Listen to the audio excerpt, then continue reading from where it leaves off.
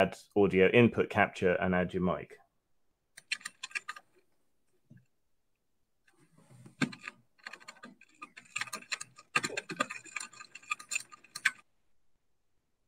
Testes, testes, one, two, three, testes.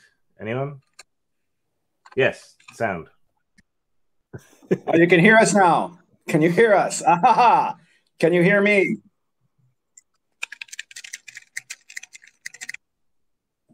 You can hear all three of us.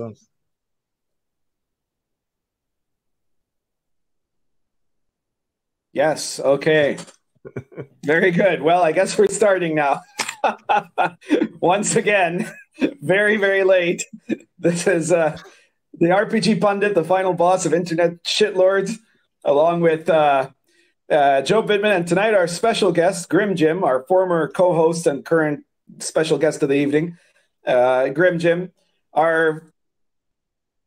well, yeah, I think uh, since he since he quit the show in a huff, he has gone on to become even more inappropriate than he was when he was ever on this show. But we'll be talking about that shortly. You may have yeah. noticed that our third regular co-host, um, uh, Venger Satanis, is not here, and that is because he is currently sick with a, an array of symptoms that certainly sound like they could be a certain flu bug. Uh, well, not a flu bug, but a certain type of virus of Chinese origin. and uh, we are we're all having a bit of a chuckle about that. So he is uh, he is he is not available. I, I, unfortunately I did not inquire before he he announced he couldn't make it tonight uh, about what his vaccine status is, and I don't think he's on the chat right now. If you are Avenger, let us know. Are you are you proof that that uh, that the vaccine works or that it doesn't? anyway, um, tonight we'll be talking about a variety of subjects, but our main subject is uh, about obviously our special guest star tonight, who is someone that a lot of the, those of you who have been watching us from the beginning are are obviously familiar with, and those of you who joined us later um, might still know about him because if you're watching this show, there's a good chance you're, you're familiar with the OSR, and uh, Grim has certainly done his share of OSR work. So um, good to have you back, Grim Jim. Uh, um, Thank you. I'm glad to see you here. Yeah, back back amongst my fellow hive of scum and villainy. So excellent. And um, well, why don't we start with you giving us a bit of an update of uh, well, for, first of all, you were supposed to be here the, in, the, in our previous show and had to cancel at the last minute because of a health problem. Do you care to give our audience any update as to your current situation? Um, yeah. So I went to the optician to get okay. some new glasses, and they scanned my eyes, and uh, my corneas were distorted, and I had loads of blood hemorrhaging um, in the in the backs of my eyes, the the fine capillaries and things, which is a sign of a problem. So they sent me pretty mm. much straight away to the hospital. Uh, saw the ophthalmologist in the hospital um, and then I was just going to take your blood pressure after a whole bunch of other tests. And then that's like, oh, oh, your blood pressure is spiking at 260. so, uh, yeah, they rushed me down, uh, put put me into a bed, gave me these intravenous drugs that made me incredibly sick, and uh, over several days managed to get my blood pressure down to about 160 um, and since then, they've, they've put me on some blood pressure meds and I've had to do some lifestyle changes. So I'm trying to do tonight without caffeine. So we'll see how that goes. Oh. Um, yeah, Damn. but the, the med, the meds make me pretty sick. Um, I'm, I'm just about getting you getting used to them now. So yeah, um, I've got to make some changes. We still don't really know what the problem is, and I haven't been able to get in for a scan yet because there's a lot of post COVID patients using up the MRI. So, yeah, I'm, I'm in for a bit of a wait till I really know what's wrong. But they've ruled out my kidneys and a couple of other things. So it's probably endocrine system, which means uh, thyroid or adrenal gland. So it might be related to my anxiety issues. So so yeah, um, I don't know yet, but my blood pressure's down to about 140 to 150. I've got another med adjustment coming up, so hopefully I won't have a stroke live on stream. Well, let's hope not. although, although that would probably get us a lot of views. So you know, yeah. it's up to you, man. you feel free, one way or the other. Place bets: stroke, embolism, aneurysm, heart attack. Yeah, yeah. Elevated risk well, for all of those things. You heard it right here, folks. The the inappropriate character cast and alumni are dropping like flies. put your bets. Put your bets on who will be the last man standing. You know. well, we, we should uh, make some kind of a tontine or something, you know. but yeah, the last thanks, inappropriate character to survive gets the copyrights to everybody else's work. but yeah, th- thank you for asking. It did it did come at the most inopportune moment for, for lots of reasons, but uh, I'm I'm on a more even keel now and and coping. Yeah, well, we were all worried about you there, um, obviously, and we're glad that you're feeling well enough now, at least that you were able to to come and join us tonight. I'm sure all of our fans are. Um, although Malachi says my money is on RPG Pundit as Last Survivor. Thank you, Malachi. That's a you know that's also an amusing uh, choice, given that I'm you know a, a well-known chain smoker of well, uh, albeit of pipes. I don't I don't smoke cigarettes, you know? but I, I will have you know, as far as I know, I am in perfect health right now for a man my age. You know, so I've I've, I, I've never even had a cavity. I don't know what Job's how Job's doing. How are you doing, Job? Are you well? Pretty good. I, I, I, my teeth were real good till recently, but I got myself a gold tooth now. Oh yeah. Cool. Well, that happens to everyone eventually. It just hasn't happened to me yet. Yeah, I, I never. Well, now I want my teeth to fall out. I told the dentist I was like, "Can I get a gold tooth every time?" She's like, "Sure, why not?" you just did a small gangster on yeah. right? Full gold teeth. I, I reckon real... Pundit will go first, smothered in his sleep by a cat. That's what's going to happen. well, you know, Big Chungus is a constant threat. it's just the food that keeps keeps uh, keeps Big Chungus from eating me. So the kibbles are the only thing between me and being cannibalized by Big Chungus. Uh, Judd Goswick says, just knowing pundit is a risk. he also says, Job has gone 10% pimp. Yeah, knowing pundit certainly doesn't help my blood pressure. But well, I'm sorry to hear that, but uh, I guess that, that, that that would be the case for you and you know about 200 SJWs too. So you got to look at it as a uh, in the balance of things, right? You're you're, you're taking yeah. one for the team, Grim yeah, the stress of the world. so the other thing is that since you've you've been in pretty busy since the last time that you were on board, um, and uh, you um, you've you've done a number of projects. Uh, I know there's a lot of people that wanted to to you know when I posted the ads for this live stream that said uh, they want you to talk about um, was it Wightchester Mm-hmm. Um, but I want to hear basically about what various things you've been up to since you uh, quit our show. wait, wait, wait, hold um, a second. I, you know, I just want to interject and, and make you talk about one thing first because I got a slide for it. Okay. Okay. Oh, not that one. That one. Tabletopless. Okay. Grim, I gotta tell you, I am totally a fan of this now. So just so everyone knows out there, you know, you go to t- tabletopless.org and it's, how would you describe it, uh, Grim?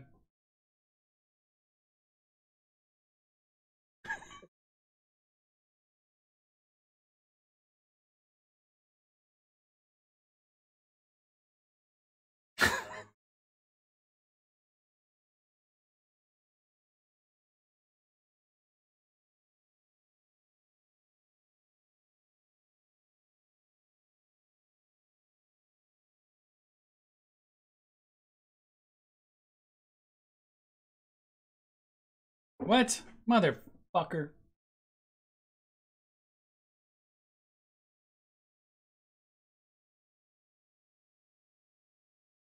What? Same line in as it was before. But you can hear Pundit? Hear. What the hell? Okay, so Grim's audio is gone. Am I gone is too, guys? Anything? Megan says she can hear you.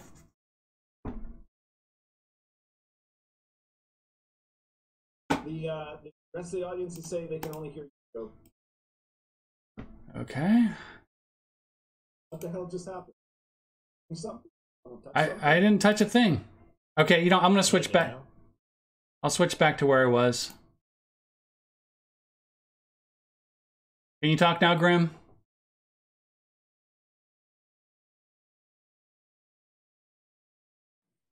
If you switch They're to a saying they different, can- They Yeah, can hear switch to- me, but only very quietly, apparently. Oh, I know what's going on. Everyone's hearing you through my speakers. That's what's fucking going on. Ah, yeah, the input isn't working. Okay, I'm gonna move my microphone over to my speakers.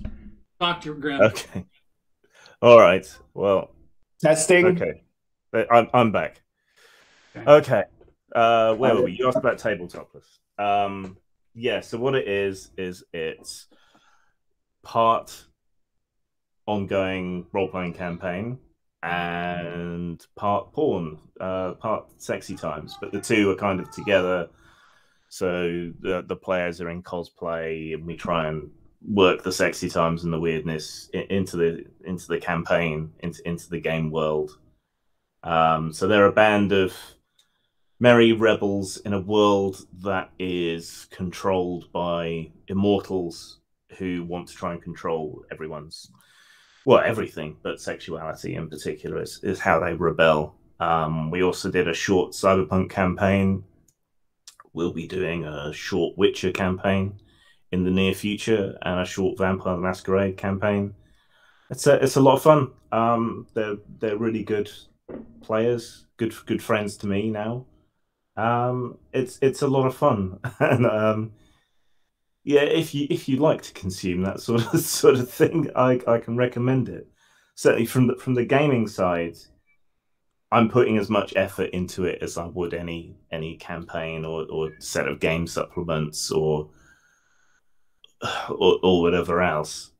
Um, and we tr- we're trying to find a balance between that kind of performative aspect that you see in something like critical role because to an extent you have to do that if you're doing a presentation but also keeping a lot of the flavor of of a normal campaign. So all the tangents that people go off on the bad puns um, flailing around trying to remember the right rule. So we're trying to present role playing in a more authentic way than Critical Role does, I guess, but also with tits. Okay. so I have several questions. and uh, I mean, to start with, let me preface by saying that I, I've never actually watched this thing. Um, but uh, I guess, huh. My first question is: Is this profitable? Are you making a lot of money from this?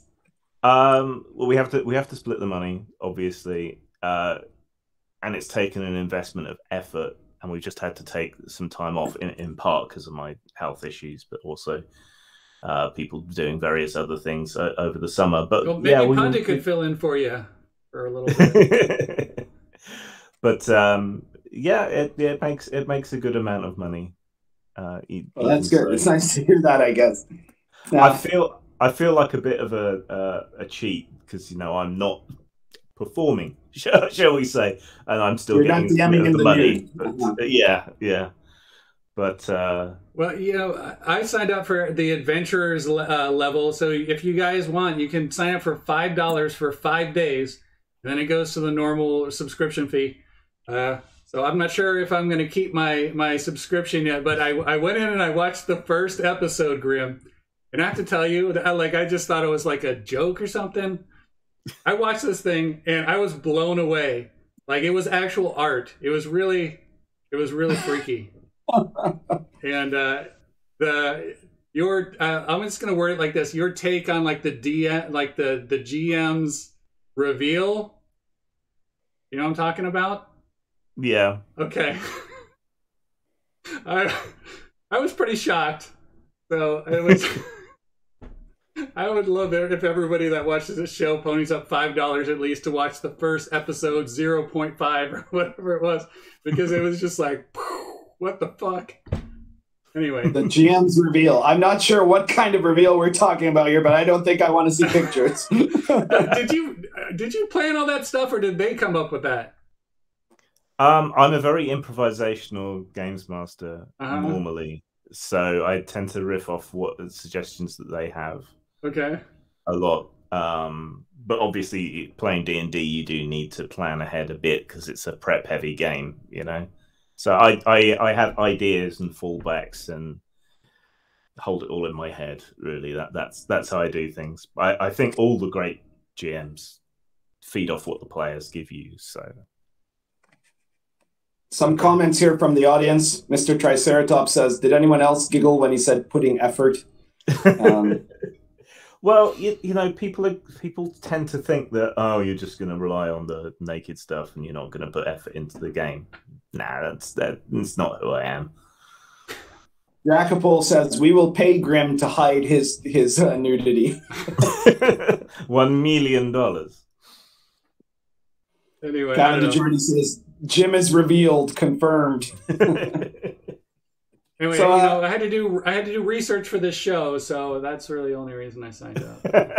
I, I, usually do research for this show, but I have my limits. So uh, here's here's you know, but we do ask the tough questions of our interview people on this show. So here's my question to you, and this is this is going to be a, a difficult one for you to answer, Grim Jim. Okay. Uh, do you think that of the audience, the more pathetic ones are the ones that only come and watch your show to fap to the nude people in it, or the ones that come to your show and do not fap to the nude people in it because they're only there to watch the role playing. I don't. I don't think either is is is pathetic. Um, you know, I w- I wouldn't. I wouldn't diss the audience, and you know, I'm I'm very sex positive. A lot of the fans engage with us on the Discord server and so on. Uh, we've only had a couple of creeps who we've had to give give the boot to, but most most people are pretty pretty cool. But if you are just coming for the game, then you're probably a little bit sadder. yeah, well, you know, it's like the equivalent of the person who's like, "Yeah, I buy Playboy just for the articles." for the articles, yeah. I'm just no, no. I'm just watching that because I, you know, Grim is such a good DM. I'm I'm in deep throat as as a medical drama, not the not the pornography. You know, this poor woman, she's well, a clitoris. You know, I think I, I got to admit, Grim, I think you've inspired me. There's a certain genius in this. So I think that at this point, what I'm going to do is uh, for my my last sun campaign, which is you know you you've got currently we we we recorded on audio and it's on Bill the Elf's channel. I think we're going to start recording it on video, and we're going to to charge people. Um, we're gonna have the people are gonna have to fundraise up to a minimum amount for my players not to be naked on that video.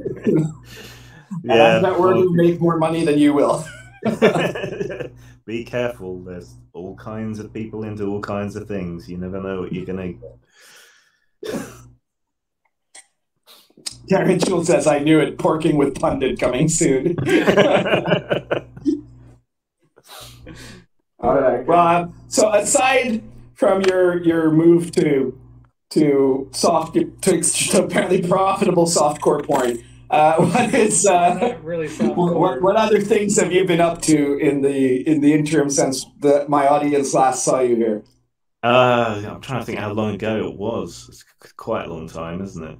Um, I've put out some support materials for tabletopless, so people can take the the non-porn elements into their own games. I've been doing a lot of consultation. I, I enjoy doing that. Um, consultation with uh, people who are trying to publish like their first RPG or whatever. So I can take them through the pitfalls and the budgeting and yeah, all, all of that kind of stuff. And that's that's really rewarding. I really enjoy doing that. Um, and sometimes I help more directly by helping people publish, you know, through my storefront um, and so on. So I've been working with a, a guy from Portugal called uh, Miguel Ribeiro, um, and he's just a machine. He's he's pumping out all kinds all kinds of stuff. Um, he's really into the kind of giallo Italian pulps um, and you know like Dario Argento and stuff like that. So we've got these kind of surreal horror sort of sort of scenarios that he's been putting out, and I've been doing the layout for. I've been getting more into doing more complicated layout. Um, so that that's that's been interesting to be a bit more art, arty and pretentious. um, see, Mörk Borg interested me, but I think they went a bit too far to the point where it can be almost unreadable. So I'm just trying to find this kind of sweet spot and um, and playing into my my aborted artistic education to, to try and do things uh, a bit more complicated, a bit, a bit more different. Um, yeah, and then course the, the the big project is is Wightchester, which uh, the funds funds still running for a few days.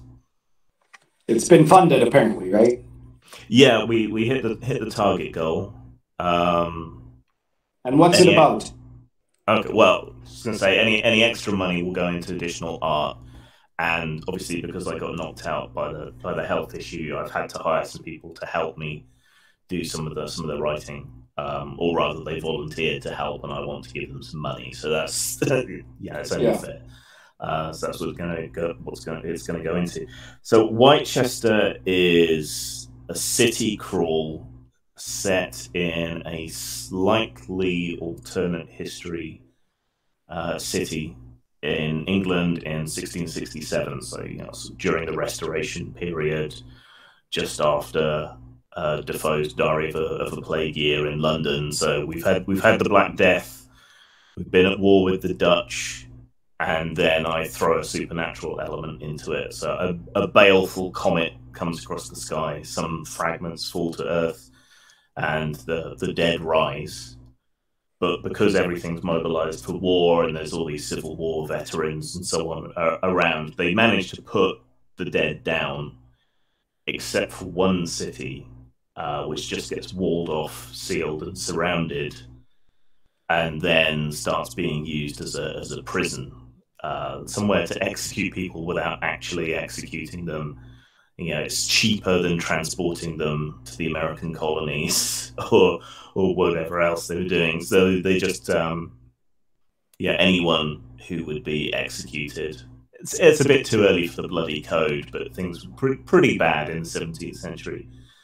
So, you know, if you're a poacher or a Catholic or, or you know, a, a rebel, uh, a ranter, a digger, a leveler who's run afoul of the authorities. Um, you know, if you're still agitating for, for a republic, or even if you're not guilty but they think you are, you can just get shoved into this city full of the undead and then try to survive.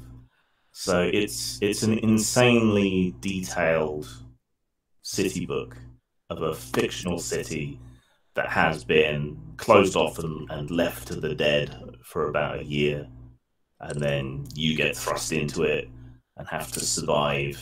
And maybe along the way, you'll find out things that happened in there, get to the bottom of some secrets, perhaps, maybe even escape. Who knows? Sounds very interesting. Now, is that a is that a setting, or is it is it also like a, a full RPG? Like, does it have? And if so, is it is it OSR or is it something different?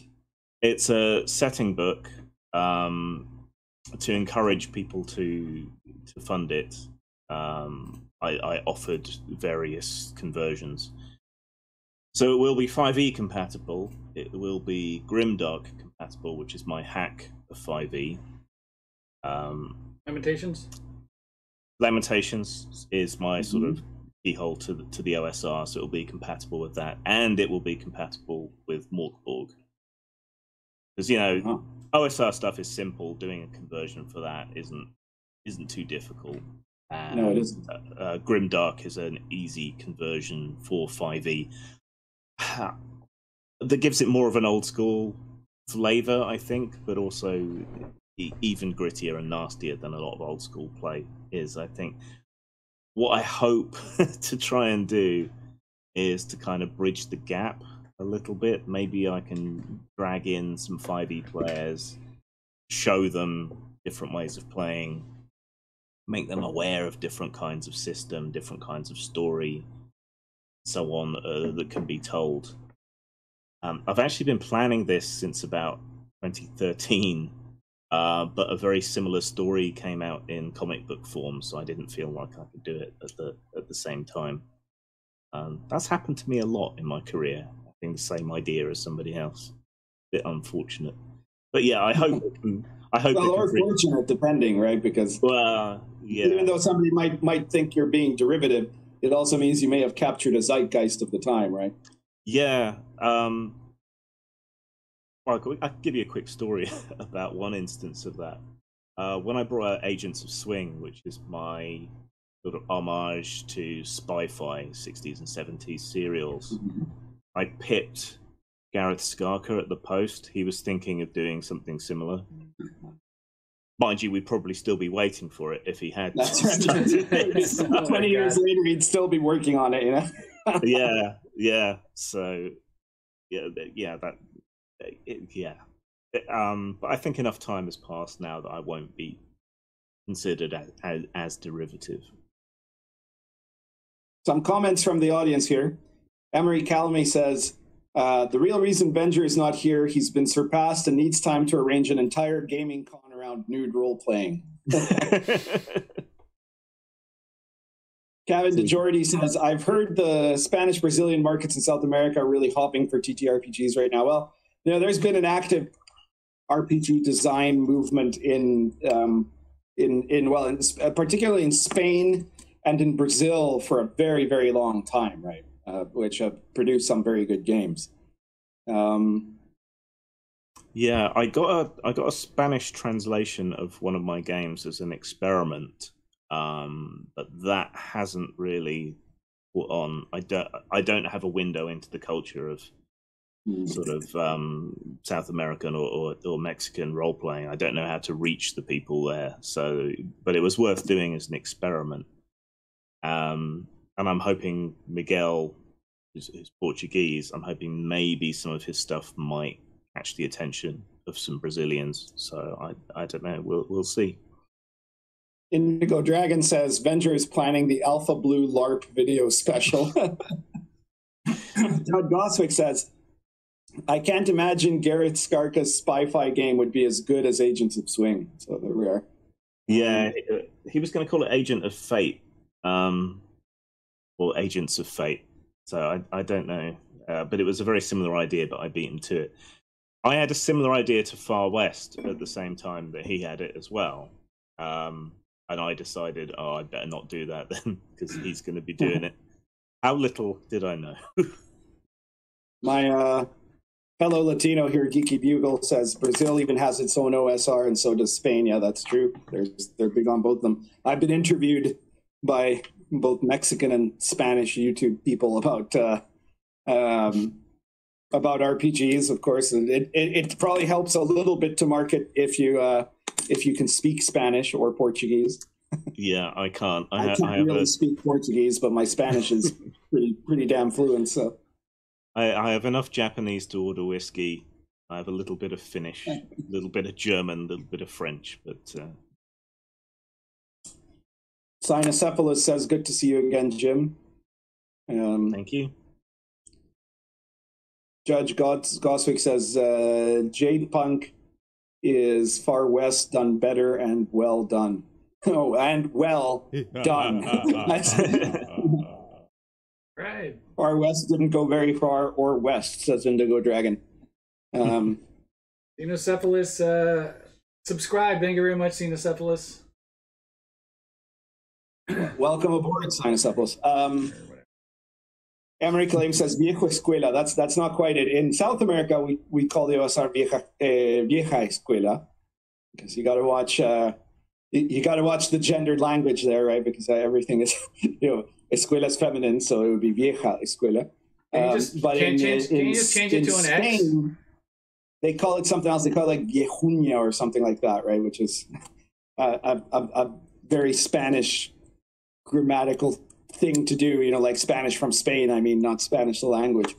Um, it's uh, there's there's significant dialect differences between Spain and, and Latin America, well, and be- between different parts of Latin America. So I don't know if vieja escuela is what they call it in Mexico, for example. Um, Terran Schultz says, I can barely speak my native language. Well, there we go. Oh, Geeky Bugle confirms. Uh, no, Geeky Bugle says in Spain it's Vieja Escuela too. Well, that's that's every every single interviewer I've had from Spain doesn't call it Vieja Escuela, but maybe maybe other people do. Maybe it's a regional thing in Spain. Because keep in mind that in different parts of Spain, in some parts of Spain they don't even speak Spanish. So there we are. Um, Basques, splitters. Yeah, well, not just the Basques, like the Catalans, for example. Mm. Um, Megan asked if um, did you already, did did you already ask Megan's question? Who did the cover? What, Sorry, what was that? Did you already ask Megan's question? It said Megan uh, said uh, who did the cover? Oh, who did the cover art? Sorry, yeah, I missed that. Oh, don't ask me to remember people's names. I'm terrible at that. um, I can't remember his name offhand, which is terrible. I can't even remember his Twitter handle. But he's done some bits and pieces for Games Workshop before in the past. Oh, nice. Very cool. So Emery Emery Calamy says in Valencia es vieja escuela, which is making fun of the, Spaniard accent, right? In, in Latin America, we all find the way people from Spain speak Spanish to be very funny. Um, Judd Goswick says a Pendragon book about El Cid. Well, you know what? I, I mean, I would someday consider doing um, a line. You know, right now I'm working on a Lion and Dragon book about the Crusades and the the Silk Road. But uh, you know, and then I'll probably do another one about some other period of English history. But I would certainly consider doing one about the the times of El Cid because uh, that's some some really great potential for a lot of interesting gaming there. Uh, of course, Spain has its own medieval authentic game, Aquelarre, which is much older than, than you know Dark Albion or anything, and was certainly an influence on Dark Albion and Lion and Dragon. Um, and it's a it's a great game. Um, oh, we've got a, a super chat. Ironcaster uh, says, "Hope you're feeling better, Grim." I'll, I'll get there. Thank you we, we really thank Ironcaster for paying me and Joe money for saying for wishing Grim well. yeah, geez. I wonder how much we'll get when you die. Five bucks, maybe. Grim Jim had his chance at the big bucks in, in inappropriate characters and literally the tens of dollars that we make in this show. but he, yeah. he, he threw that all away to get into porn, you know what, a foolish, regretful decision. Yeah, well, yeah, I, I, suspect you're raking in more than inappropriate characters does, but there we are. Who's echoing, by the way? Some they say they're hearing an echo. You guys, it's gonna echo. I uh, the way I worked around it is uh, I've just put my microphone against my speakers and turned it up a little bit, so the audio is gonna be shitty today. So at least we have audio. Sorry, guys. This is like the ultimate Job jury rig. yeah, yeah. I, for some reason, Google, uh, I, I paid for freaking Google Meets. They changed it so you can't output audio to virtual audio cable for some reason. So ridiculous. Typical crap. You know, you don't realize until you go to turn it on. Like, why isn't that showing up? Not there anymore. Every single time. Geeky Bugle says the tech guy is a boomer. Yeah, oh, I'm half a boomer. Oh, we just got an uh, Emery Calamy said, sent us uh, ten dollars uh, super chat saying Alexander Hamilton says hello. All right, so if you guys have any questions for Grim, him being the, yeah, we the can guest of some questions here. Uh, uh feel free to, to post them. Yeah, uh, Joe, have you got any questions for, for Grim? Well, First, I'd say the crowdfunder is still open. It's on Indiegogo, Wightchester, wight as in the scary creature. Um, I think there's five days left. Nice. I just backed it right before the show, so um, it, it, looked really good. I would recommend backing it. There we go. got a few of your books though, so cool. I'm already a fan. Uh, but yeah, questions. I'm, I'm better at responding to questions than I am at just talking about stuff. So, um, Joe, any have you got any questions for Grim? Well, uh, yeah, I got plenty of questions for him, but uh, we just got one in the chat room. So Geeky Bugle says, uh, "Yeah, what about white box conversion of Wightchester?" Uh, I think I've got enough conversions on my plate. and I think there's enough there that it shouldn't take much work to convert it to anything else that you want to. Right. Yeah, I mean, if you've got a Lamentations conversion, you've got an OSR conversion. I mean, you could use it. You know, yeah, you could do that. you can use it with any OSR game. That's that's the beauty of the OSR, right? that everything is compatible. All right, so I got a question. Uh, we can wait for the chat room to fill up with some more, but um, so I, this actually comes from Tabletopless. I was watching your episode and you were going through your bona fides, and one thing you mentioned, I've seen this book before. Uh, was the Munchkin uh what is it Munchkin book for power gamers or whatever? Munchkin's Guide to Power Gaming. Yeah, yeah, yeah, yes. right. So you, I, would seen it before. I flipped through it. Um, I think I used to have a copy, but I looked and I, I, I don't have it, so I don't know what I did with it. Um, but you mentioned something on that show about you kicked off all the stuff. So did I got the impression when, from what you said? Did the Munchkin game come after your book? So me and my writing partner Steve Mortimer, who who went back to sort of normie jobs after that, uh, we wrote the Munchkin's Guide to Power Gaming, which was one of a whole bunch of pitches we sent to every role playing game company we could think of back in the day, just just looking for work. Steve Jackson Games seemed to see something in it, and so you know gave us the job of writing it. Um, for those who don't know, it's just a it's just a comedy book about all kinds of stupid stuff around games, really, but loosely themed on power gamers and the and the shenanigans they get up to. But it did really, really well. Um, what yeah, it was illustrated by by Kovalic or whatever, right? Some of it was Kovalic, some of it was Erol Otus, I think. Oh wow, okay. Uh, maybe Ooh. someone else.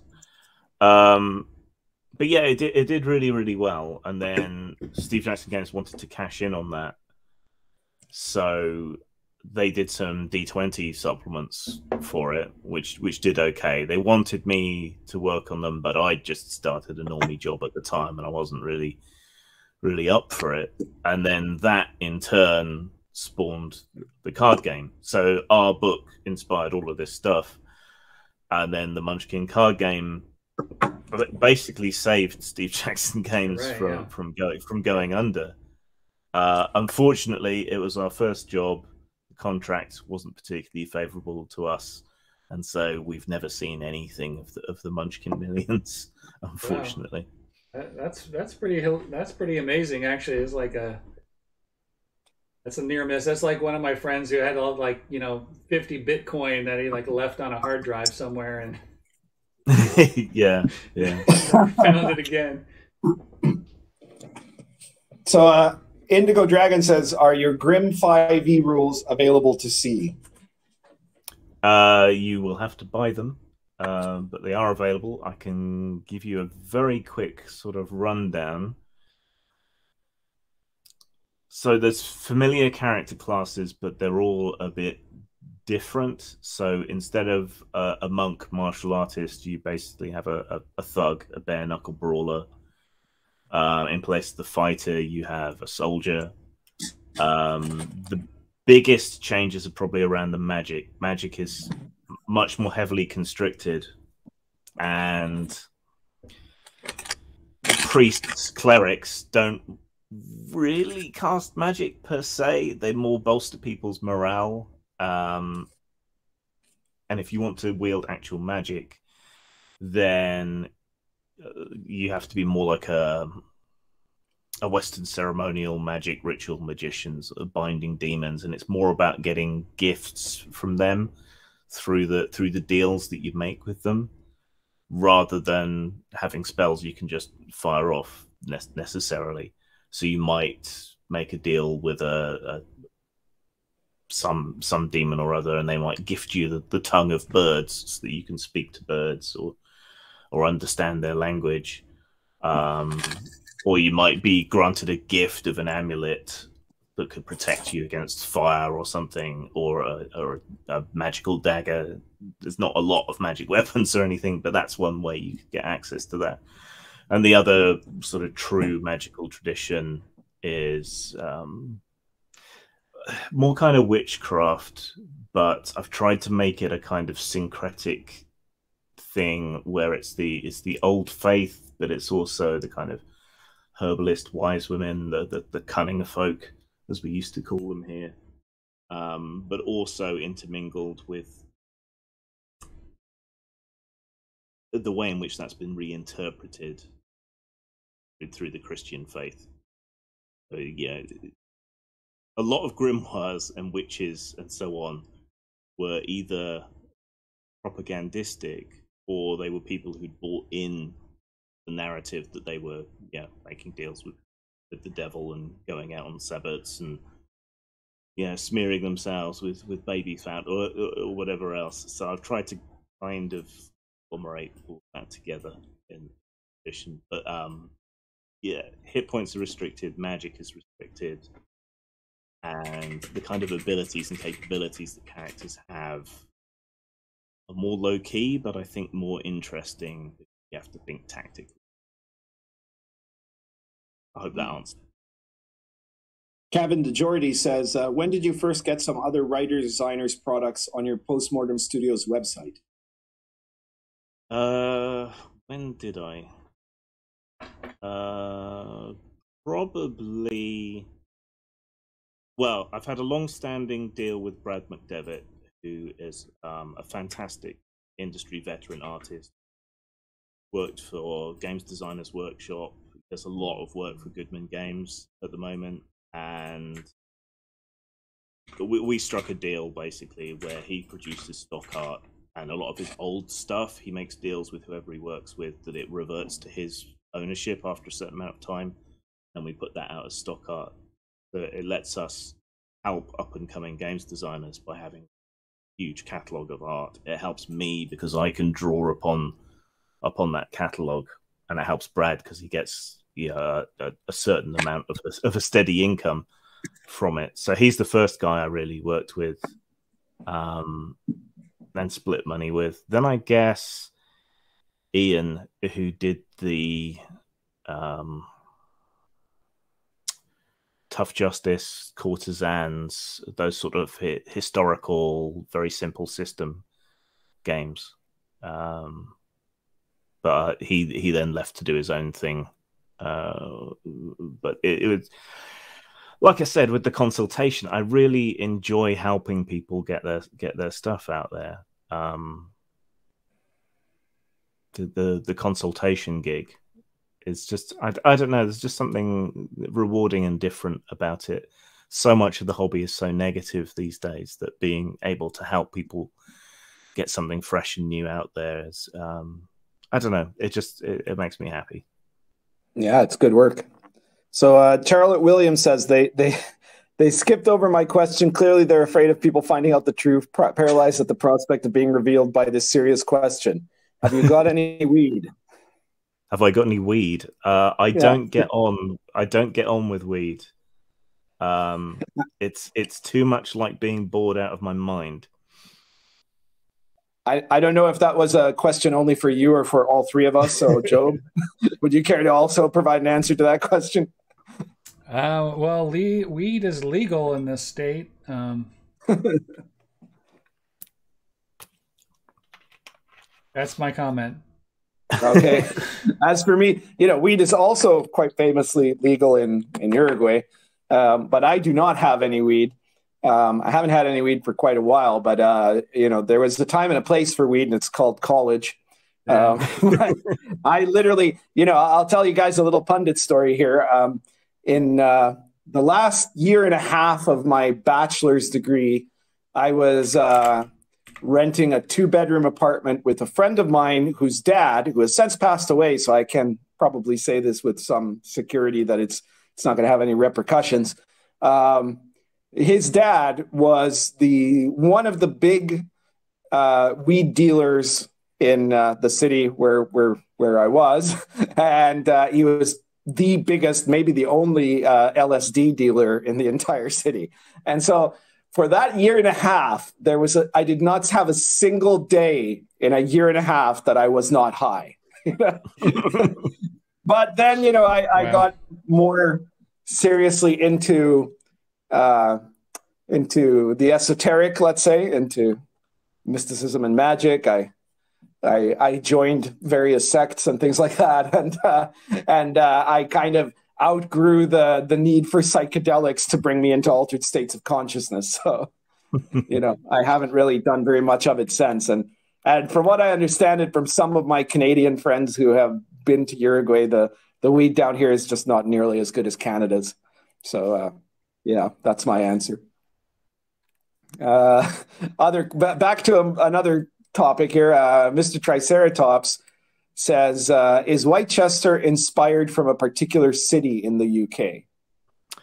Uh, several, question. yeah, se- several cities. Um, like, what was your process? Did you? I assume you did a lot of research on. Well, I mean, at least if I was doing this, because like I've literally done this with medieval, with some of my medieval city books and Pundit Presents is intense research on what that city was actually like in the 16th, in the 15th century, in my case, and in your case, I guess.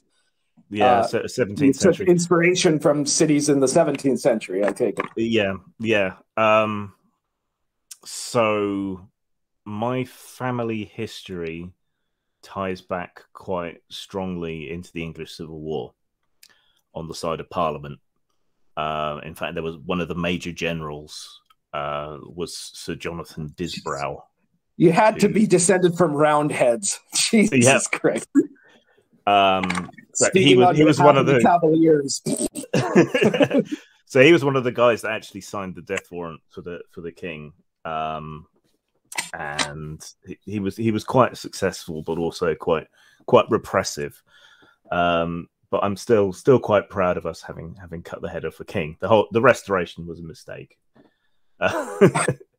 so I already I already had an interest yeah. in that. In I'm, that era I'm sure a guy like you would have absolutely loved living under Cromwell. absolutely not, but yeah, sacrifices have to be made.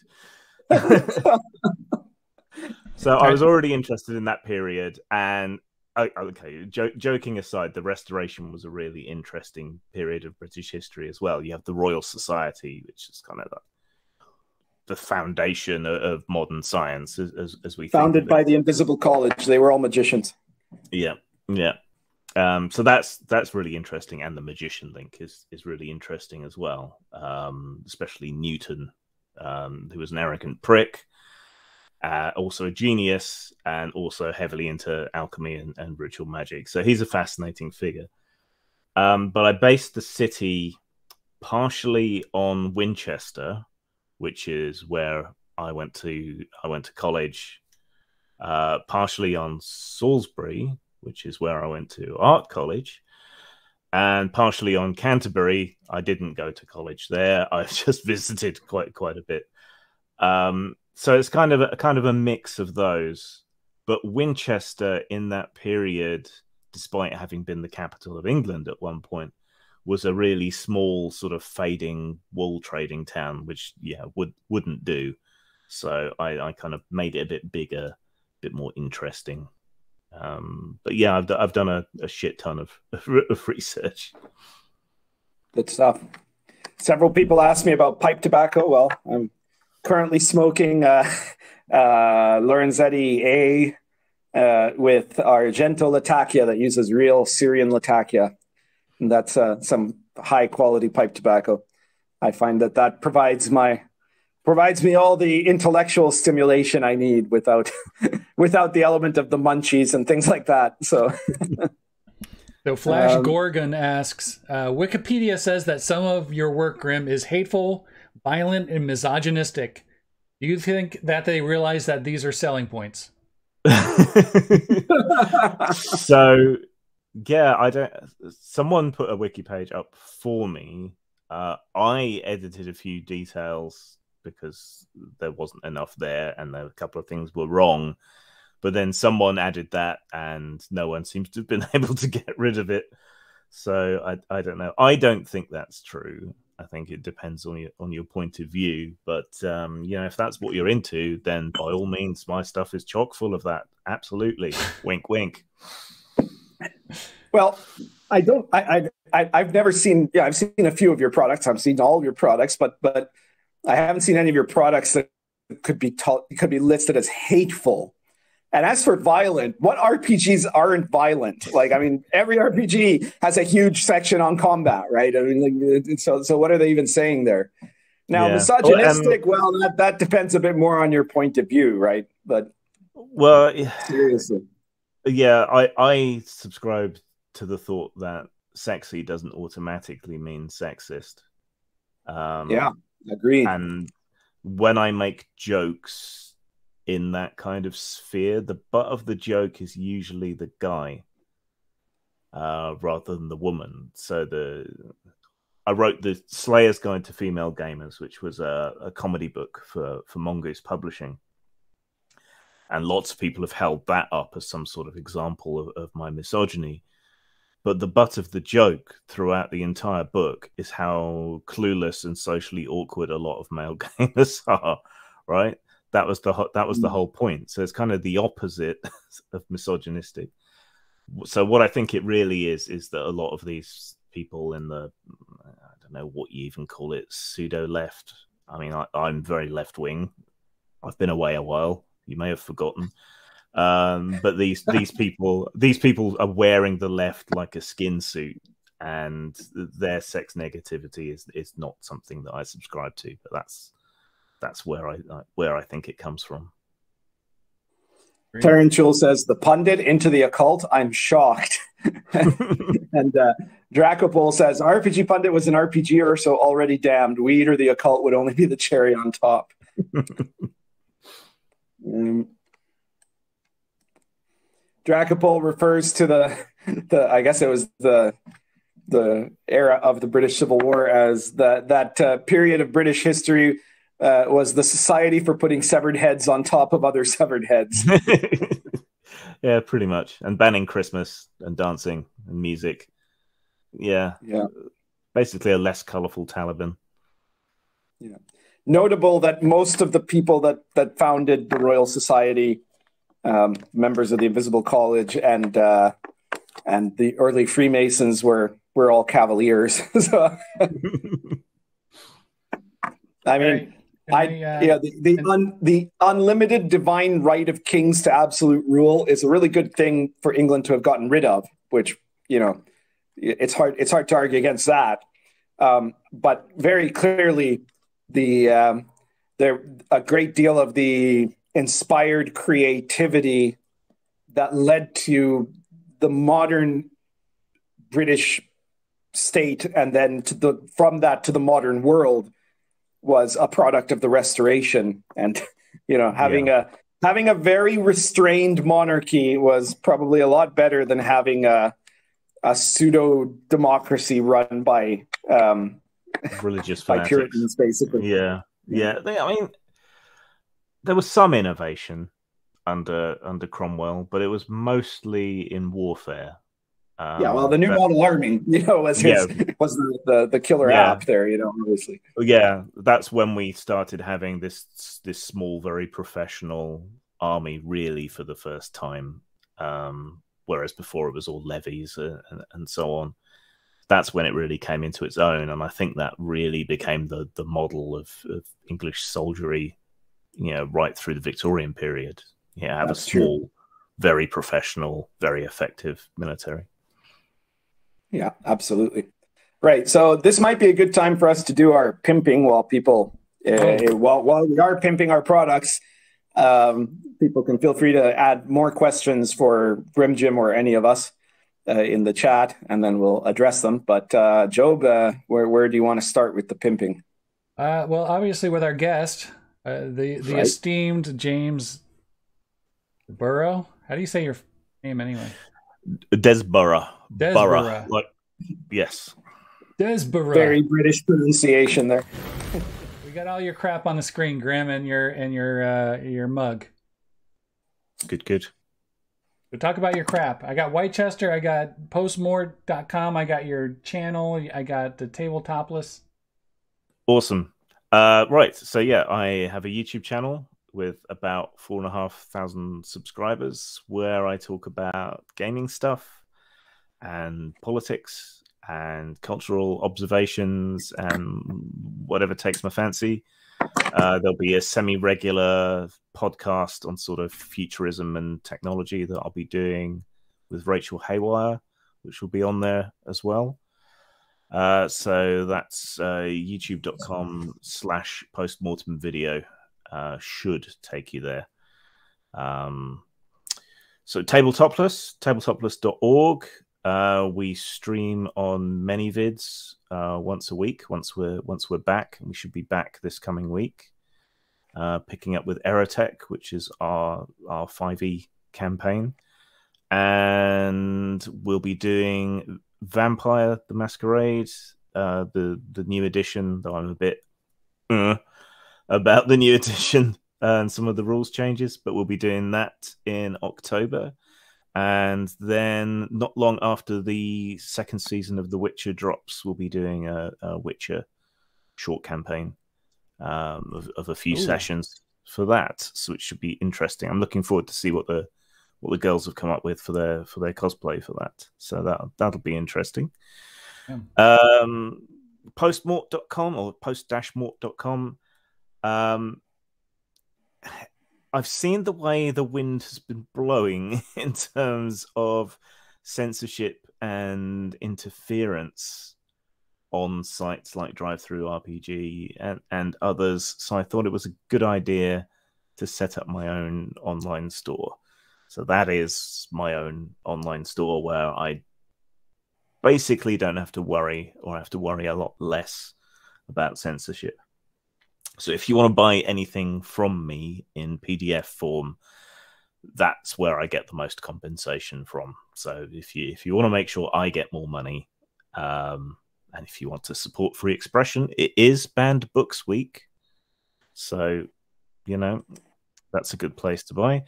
And Wightchester, I think we've got four or five days left on the crowdfunder, so that's your opportunity to get in and get a, a cheap copy of the main book and I'll be comping anyone who supports it with a free copy of Grimdark and maybe a couple of other goodies as well.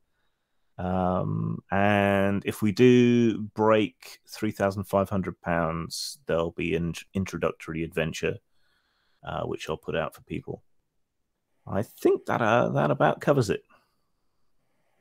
Very good. All right, great. You're up. Uh, what is what's your name? Pundit. Thank you. All right. Uh, so um, I'm I you know uh, right now the latest product I've done is the Invisible College. Um, currently on drive through, as you can see in the the image that Joe put up there, it's a silver bestseller. Um, of course, it's also been selling a lot on Amazon. So if you don't care for for drive through, you can buy it on Amazon. But if you if you do use drive through, it would be really great to get it up to uh, well the next I guess Electrum bestseller would be the next step. So, uh, it, but it's it's been it's been selling really really well, been running well. People have been talking about it. Lots of people running campaigns of it. Um, my campaign of it is going really well. And for those of you who who haven't heard somehow, the Invisible College is a modern RPG, an OSR system RPG with obviously uh, some very interesting rule mods for running a modern setting game um, that has to do with secret societies, mainly the Invisible College, which was founded back in the time Grim's book is set in uh, in the 17th century. Um, a secret society of, of magicians that are fighting in an occult war against other secret societies to determine the spiritual evolution of humanity. It's a lot of action, lots of magic, supernatural elements, lots of conspiracy stuff um, secret intelligence agencies having their own occult divisions. Um, the, a lot there's rules for creating your own organizations within the Invisible College. Rules for um, how you know if you're doing high level play, so to say, how, how uh, the different conspiracies uh, to manage the different conspiracies, gamifying the um, their control over mundane organizations, you know, different institutions and uh, and and uh, movements and things like that in the world to try to uh, push their particular agendas of what they think humanity should be, whether you know humanity should be enslaved under an autocracy or um, transformed into some kind of different species, or uh, should just cease to exist, or only certain people should get to exist, or it should be thrown back into a dark age of of uh, um, religious superstition, or if humanity should be liberated by the the power of uh, autonomous individuals having freedom to develop their their self actualization. So uh, it's a it's a it's a game that has a lot of different ways you can run it and can do a lot of interesting stuff. And of course, the magic system, just like Lion and Dragon, has a magic system that is based on kind of medieval authenticity, what the what magic was understood to be like by people who were doing magic in the Middle Ages. The Invisible College's magic system is based on real world modern occultism. So, some very interesting source material there. Uh, apart from that, you can uh, pick up all my other stuff also at DriveThruRPG. Um, I'll give a little shout out to World of the Last Sun, which is also currently a silver bestseller and is probably bound to hit Electrum pretty soon here. Um, World of the Last Sun is a great 278 page gonzo world book full of different, you know, interesting material, rules, items, um, creatures, races, all kinds of things that you can use as a complete setting in of itself or cannibalize into your setting. Um, lots, yeah, it's got sci-fi elements and weird fantasy elements. Lots of great random tables, and uh, it's definitely uh, a, an excellent source book for anyone who enjoys slightly weirder styles of fantasy. So be sure to check out World of the Last Sun, and of course, as usual, my RPG Pundit Presents series. I've been told by by Spectre Press that there's that we're going to get the next um, RPG Pundit Presents issue out quite soon now, and apparently it's going to be an adventure, uh, last sun setting adventure called uh, "The Perils of the Sunken Skyship," which can can also obviously be run with any OSR game. So uh, be on the lookout for that when it comes out. It might come out this week. And uh, yeah, I guess that's it for now. Jobe. Okay, so my uh, my my new book from Lamentations is coming out. Uh, I think it's going to arrive from the printer uh, in Finland in like three weeks or two weeks, um, and that is the Book of Antithesis. So that is a book of of uh, real occult magic uh, practice for dungeon masters for building your game world. Um, and then if you look on the screen, you can see if you if you email me at uh, orders at Bloody Hammer Games. Um, I've still got a couple copies. I'll make some in the future, but I've got two copies left of the Bone Divination for Game Masters. Um, this is this will get you started with uh, doing the divination practice that's in the Book of Antithesis. Uh, so you get what do we got? We got one. You get six marked cowrie cells, one one gold cowrie shell. Come here. Uh, and then you got three milagros, um, and then the whole chapter of the whole divination chapter from the book, I I shrunk it down and I put it in this little booklet in here. So if even if you don't buy the book and you just want to um, try divination for yourself, um, and uh, you know, contact me, get me one of these. I only got two of them built, so um, I got to order more parts, and then I'll you know spend a, a, long afternoon assembling a bunch more of them. Uh, I got fanfic, the erotic storytelling game and I still have like 30 copies of Into the Demon Idol left. Um, so if I uh, reprint it the next time, it's probably just uh, I'm going to do like the Brutal Blades version. So still working on Brutal Blades and, and getting that out. It's getting closer.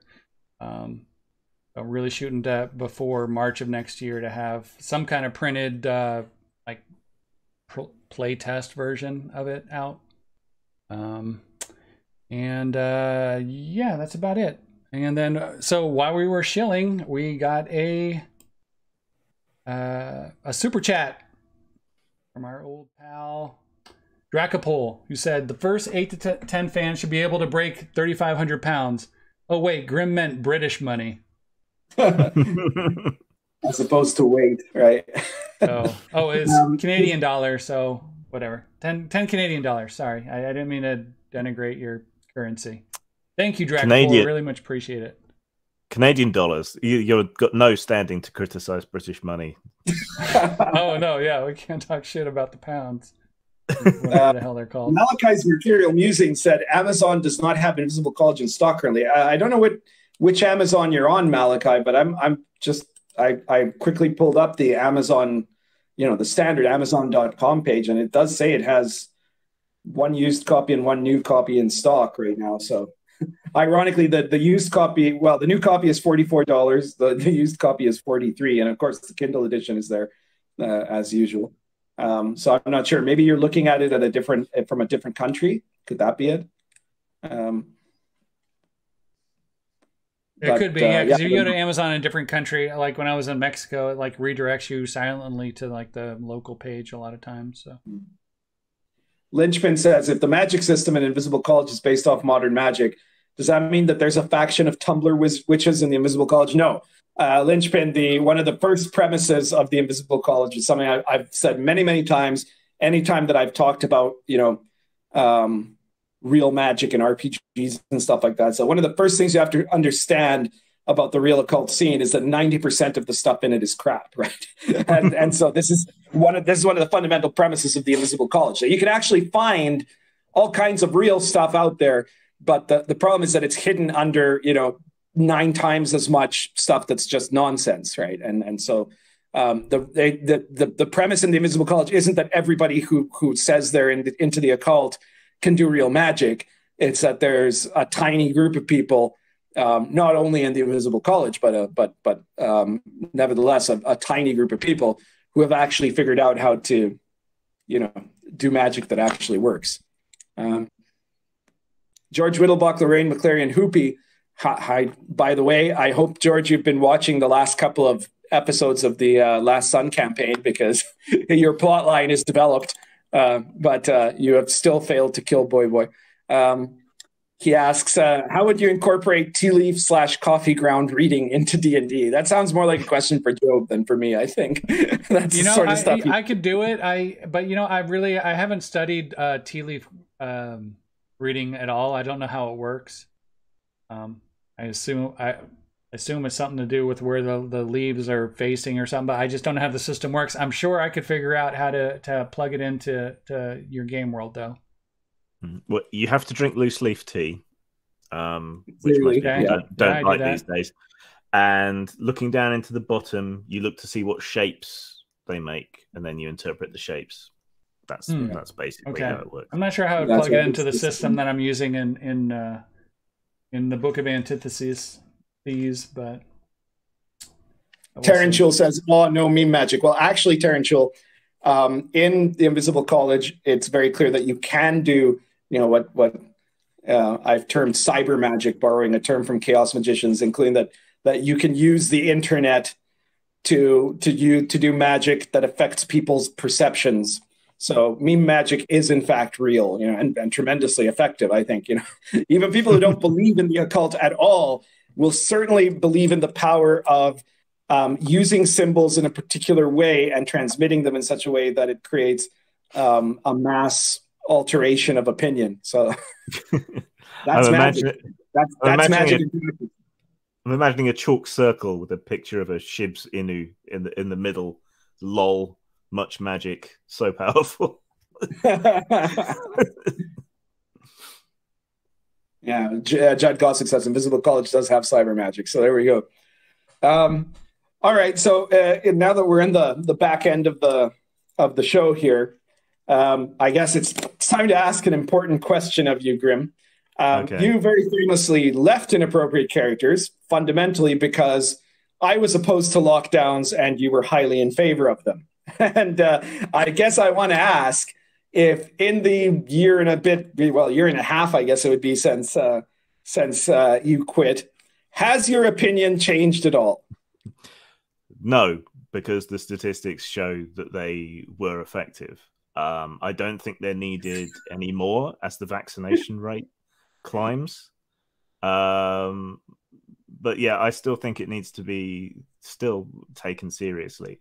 Now, I may be biased because I'm high risk. I've got some lung damage from when I was a kid, and and so on. But um, but I, I think I've been basically pro- proven right. Well, I would obviously argue that you're wrong. And the funny thing is, you live in a country that had a number of serious lockdowns, not as serious as some parts of the world, not as serious, for example, as New York City or or in parts of Australia, where today we have seen um, police engaging in incredible brutality against people trying to stand up to to insanely totalitarian lockdowns there. But um, but you know, nevertheless, England had some some very serious lockdowns, and I lived in a. I, I was just by sheer luck ended up being in a, one of the few countries in the world that had no lockdowns, and the president of Uruguay, uh, Luis Alberto Lacalle, who is now, you know, I was, I, I've managed to spend like 18 years in this country without having any particular interest in any of the local politics and not particularly liking any of the local politicians. And in one year, this bastard has made me into an actual fan of him and his party, right? because he said, you know, we are not willing to create a police state um, and and to repress people um, uh, who if, if instead of asking people just to be responsible for themselves, and that's that's what he did.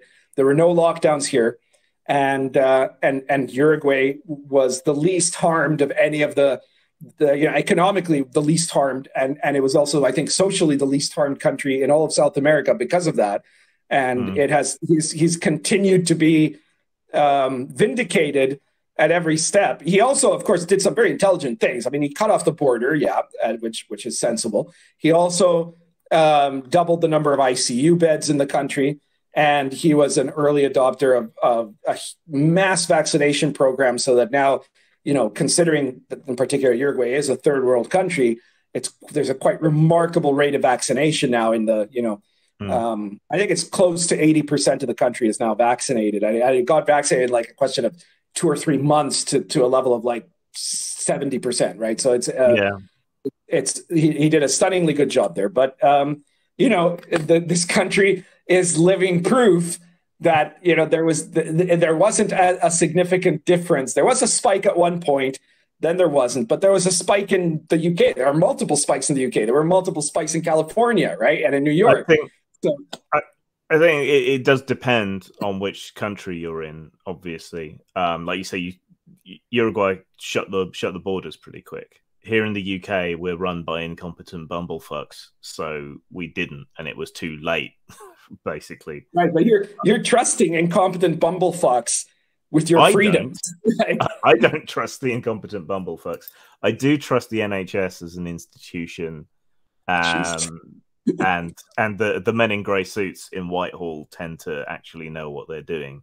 It's just they've got to work around Bojo. So you believe you believe in the middle in the middle in, in the middle class civil servant oligarchy is what you're saying. I I know I know I uh, I would call them more technocrats, um, which I don't see which I don't see as a bad thing because a, a oh, technocracy oh. is a technocracy is ruled by experts, right?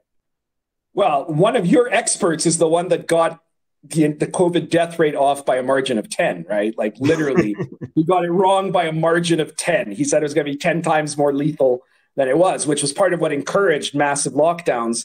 And then, of course, after that was proven absolutely wrong, which everybody agrees was absolutely wrong, and all the stats have shown is absolutely wrong, the lockdowns nevertheless persisted, right?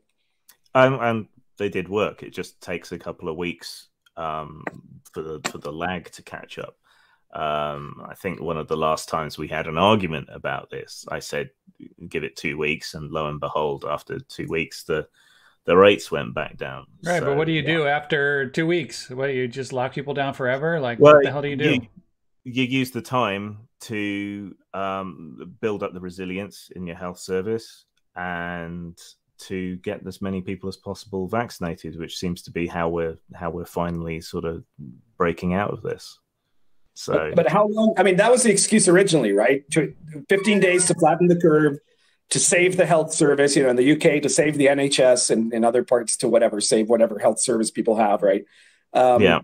But how long does it take to do that, right? Because the, well, know, like if the argument is, I mean, it's a, because it's not a coherent argument to say if you're locked down there won't be infections because there continue to be infections throughout. The, the difference between Florida and New York was basically negligible in, t- in terms of infection rates, death rates, all that in the long term. They all they end up being the same, right? Sweden ended up being the same as most other European countries. They didn't lock down, right? Now the difference could be an argument uh, of you know, emergency services, right? Like Italy well, famously well, hey, had really shitty emergency services and and had a lot of unnecessary deaths because of that. I will completely acknowledge that, right? Um, okay, well, but, well so, pundit, pundit, slow down because I think I think uh, Graham wanted to respond to one thing. So if we just do it slower, I think we'll like have a more fruitful conversation. Um, the, ca- the, case sorry, of Sweden, the case, the case of Sweden, everyone talked them up for a lot of time, but then things got pretty catastrophic in in Sweden pretty rapidly, and their own government and health advisors have all come out and said, okay, we, we should have taken this more seriously. We should have locked down more. We should have brought in more restrictions. Yeah, we were trying something different. It, it didn't work out.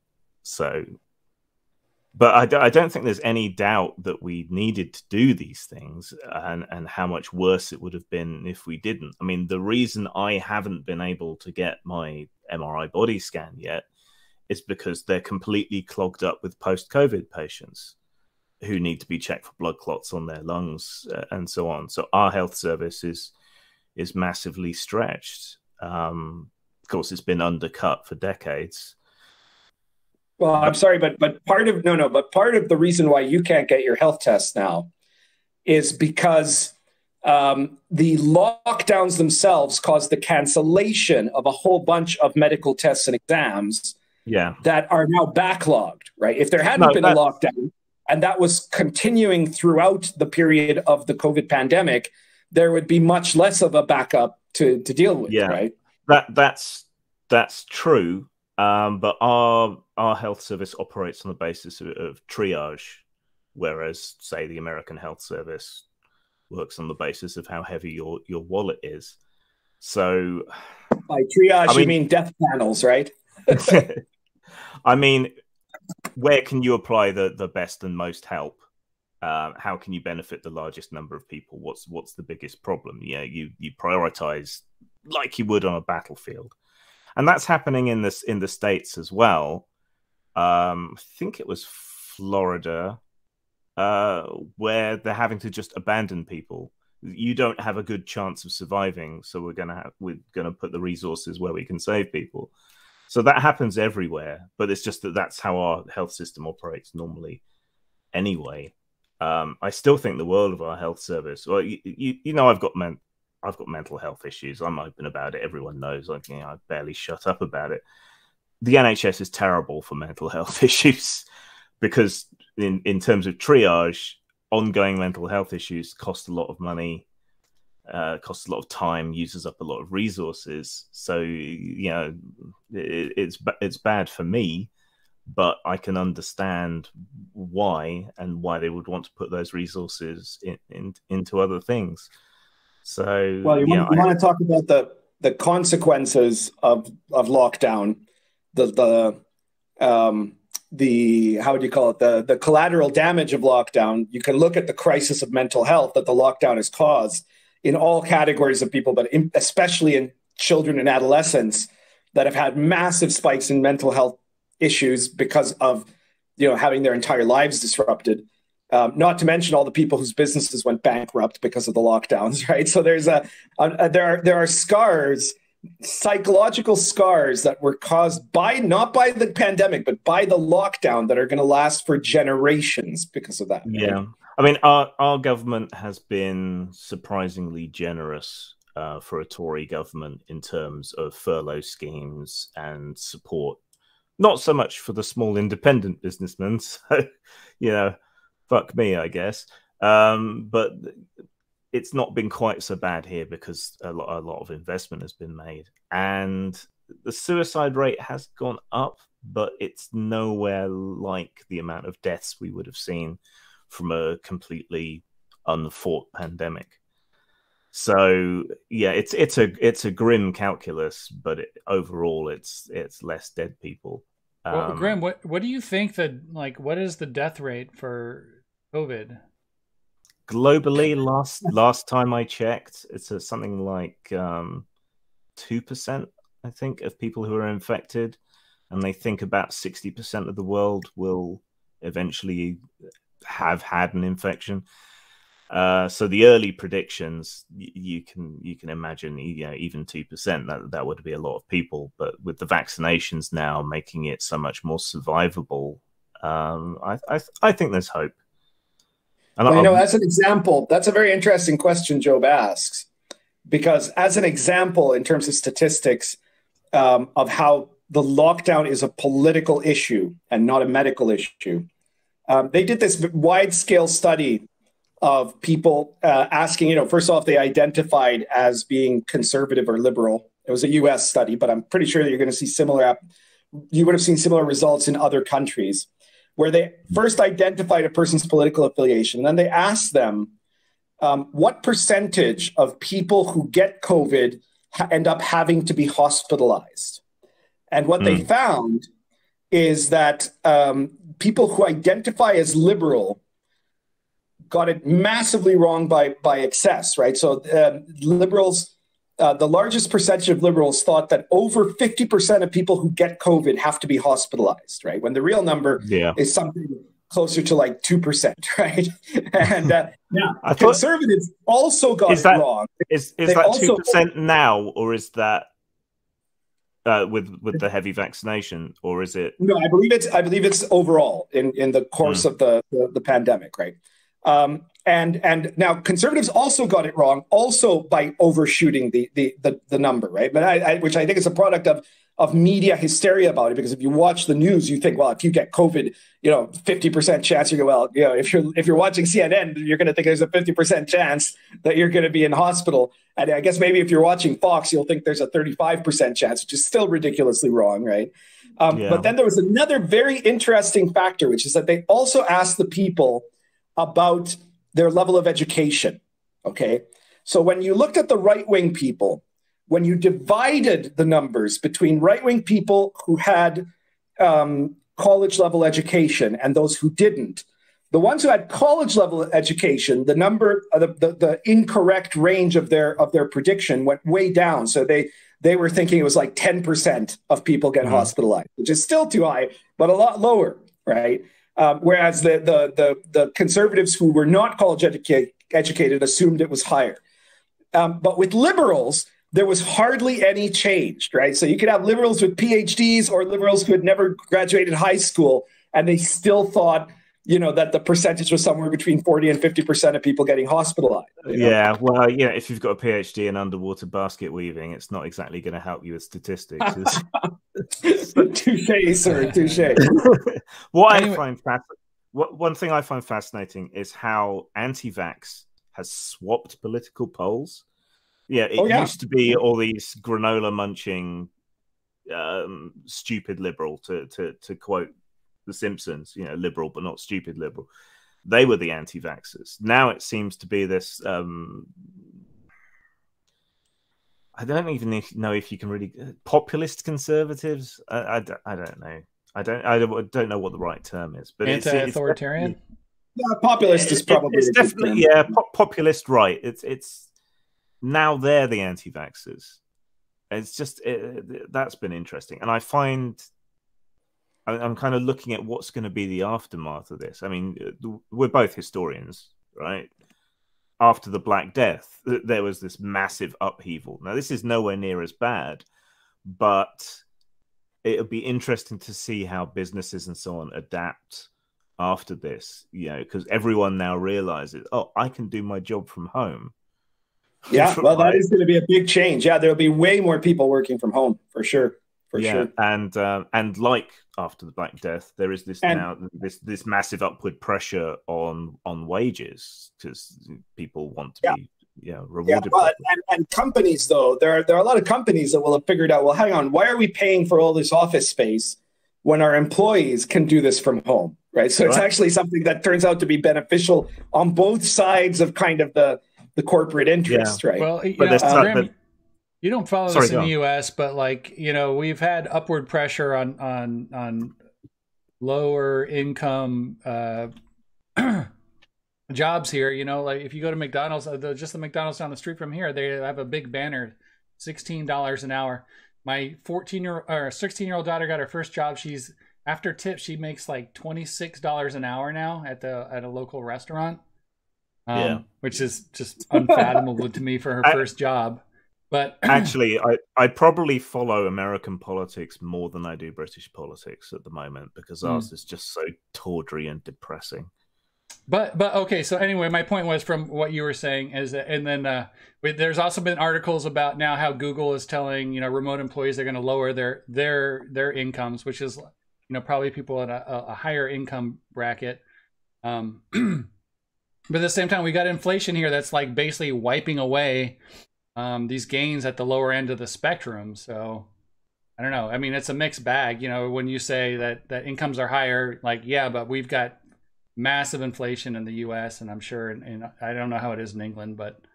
Um, uh, well, our big problem at the moment is um, keeping shelves stocked which is yeah, we're having uh, supply chain issues here too. Yeah, it's it's a it's a not here.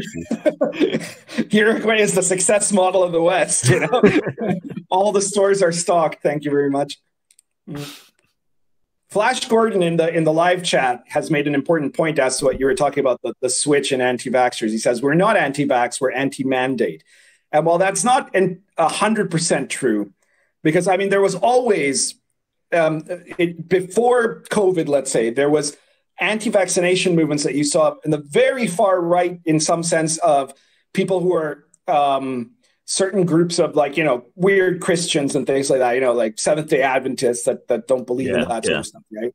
And then on the far left, of you know the hippie crowd that were you know all all natural organic foods and don't trust these medical things, and also kind of like the the liberal soccer moms that had bought into this idea that vaccines can cause autism or something like that, right? Yeah. Um, and what has happened now is that yes, you do still have some people on the right who are suspicious of the vaccines, um, but but what you actually really have is is a is a reaction that has been caused by the fact that that, that alongside this this impulse towards vaccination, you have um, you have all of the politics of the lockdown, which seems like a police state totalitarian big government plan, right? And and to say, well, you know, you guys don't actually have to keep your houses and keep your small businesses because we're just going to give you money by these massive budget um, allocations that we're doing, and and and uh, you know, then we're going to have more control over you, right? And and and so that, and then the idea of things like vaccine passports, you know, show us your papers, please, if you want to buy a burger, you know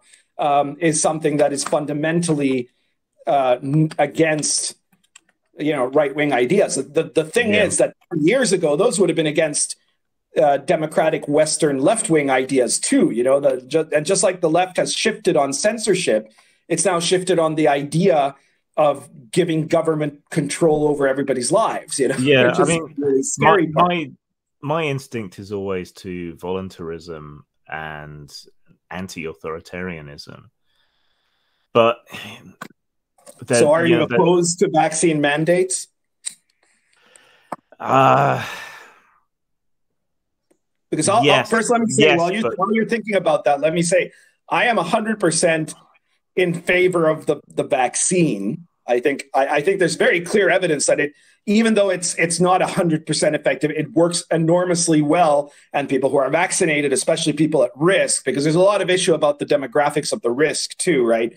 Um, yeah. People at risk um, have a huge reduction in the danger to their lives if they're vaccinated, undoubtedly, right? And and large scale vaccination can significantly reduce the rate of infection. So all of that is true, right? But but I'm quite opposed to the idea of forcing the vaccine either in a hard or soft manner. You know. Yeah, I mean, if we can get to herd immunity by people volunteering to take the vaccine, then this isn't something we need to worry about.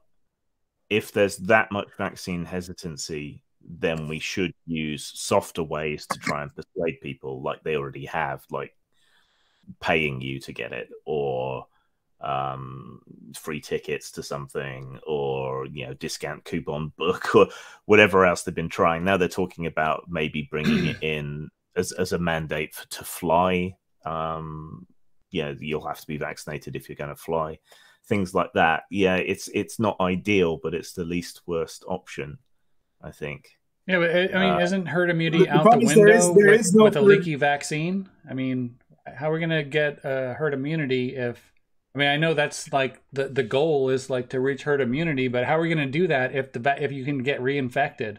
like whatever it is, yeah, the, 20% the, of people the vaccine, the type of vaccine we're talking about does not make you immune to catching it, right? Re- reduces well, the no, risk of catching it, but you yeah, know, the, the mean, argument, oh, if, if we have 100% vaccination, the lockdowns will stop. We know that's a bullshit argument, right? Like that's not going to be what it, happens. We're not going to get 100% vaccination because there's always going to be holdouts. But yeah, no vaccine is perfect. People still get diseases. Um, this one works in a different way to others. With one about boost, booster shots now to keep people up, but it does reduce the chance of spreading it. And then if you do get it, you're less likely to show symptoms, so you're less likely to spread it. You're less likely to be hospitalized. You're less likely to die. Yeah. So, but what usually happens with these kind of diseases is that they become endemic, but as a much weakened form of what they what they are. So something more more akin to the seasonal flu um, which you know kills a lot of people, but nowhere near the the numbers that we're that we're talking about here. Which brings up the issue of natural immunity. Once again, here Flash Gordon points out natural immunity is being ignored because it's free, right? so well, it's ignored there, in the U.S. Grim, I mean, I don't know about England, but I think all, all around Europe, if you can prove that you were infected, they'll accept that, right? Um, I'm not sure. I'm not. Well, I'm not, not for some things. I know, for example, in, in in parts of Canada, they have now imposed very strict vaccine mandates where there are people that are losing their jobs. In fact, there's members of, of parliament for different provinces that because they're not vaccinated are not being allowed to enter into the parliament of their of their province and and represent the people who elected them to go there um, and professors in universities students in universities um, and and almost all of those mandates have no provision for people who have, you know, antibodies that were developed naturally. It's either you you get the the Pfizer or the Moderna or whatever vaccine, or um, or or you you lose your job. Yeah, right? I I think the vaccine gives you a stronger immune response. I was reading something about that this this morning. So it is better protection. And even if you have had the coof, you should get the vaccine. Um, but most places are, I don't know if this is the case in the, in the US, but most places are saying, well, you can either have the vaccine or you can be tested, you know, very regularly, which, which is another relatively harmless way of dealing with it. I think your comparison with censorship was was a good one. Um, because I, I, think most of our audience and probably most of us are, are pretty close to, to free speech absolutists. But we would say, I think we would say that there are or can be exceptions. Like the, the harm principle is a good guide, right? The the only reason you should deprive someone else of liberty is if, if they're going to cause harm through through action or inaction. So something like publishing in fine detail how to make an atom bomb in your basement, for a hyperbolic example, yeah, maybe we should restrict that access to that information. But hate speech should not be considered harm, no, right? No, no, no. Okay. And and then in this case, you know, um, I understand the concerns because my instinct is always to be anti-authoritarian and anti-hierarchical, and to be suspicious of any expansion of the powers of government but at the same time, yeah, this is a this is a, a medical situation. The time to be upset, I think, will be as the disease fades away. If our governments continue to use these powers that they have called to themselves, yeah, that's the time to re- to resist and stand up when they're no longer necessary. Well, Robert Heinlein once said, there's there's nothing so permanent as temporary emergency measures. yeah, yeah, I, yeah. I, I, do have to interrupt you guys because one of our uh, beautiful super listeners, chat. Marv Alice, uh, gave us another super chat. So, you know, if you guys are going to super chat, we're going to interrupt everybody to to read it out. So, uh, Marv Alice says we're not going to get to 100% vaccination in quotes. So, does that make it okay to about Talk the benefits of 100% vaccination? Them lying is still bad. Oh, well, I, they typoed here, but I think they're saying so. Does that make it okay for them to lie about the benefits of 100% vaccinations? Because lying is still bad. What do you think, Grim?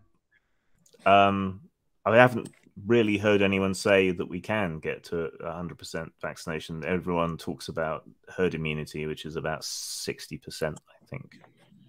So that that that's the target. Then anything we can get over that is is good. So oh, they're they're well, saying here that herd immunity is like ninety percent or something now, or eighty over eighty percent. Our our, well, they keep, uh, pushing, it up. They keep pushing it up because because they tried to present at first like the vaccine would make you immune, but it doesn't, right? Like here in Uruguay, we're down to about eighty seven cases a day, but we're you know, but there's you know eighty percent vaccination. You know, people have had the eighty percent of people have had both uh, two vaccinations already, right?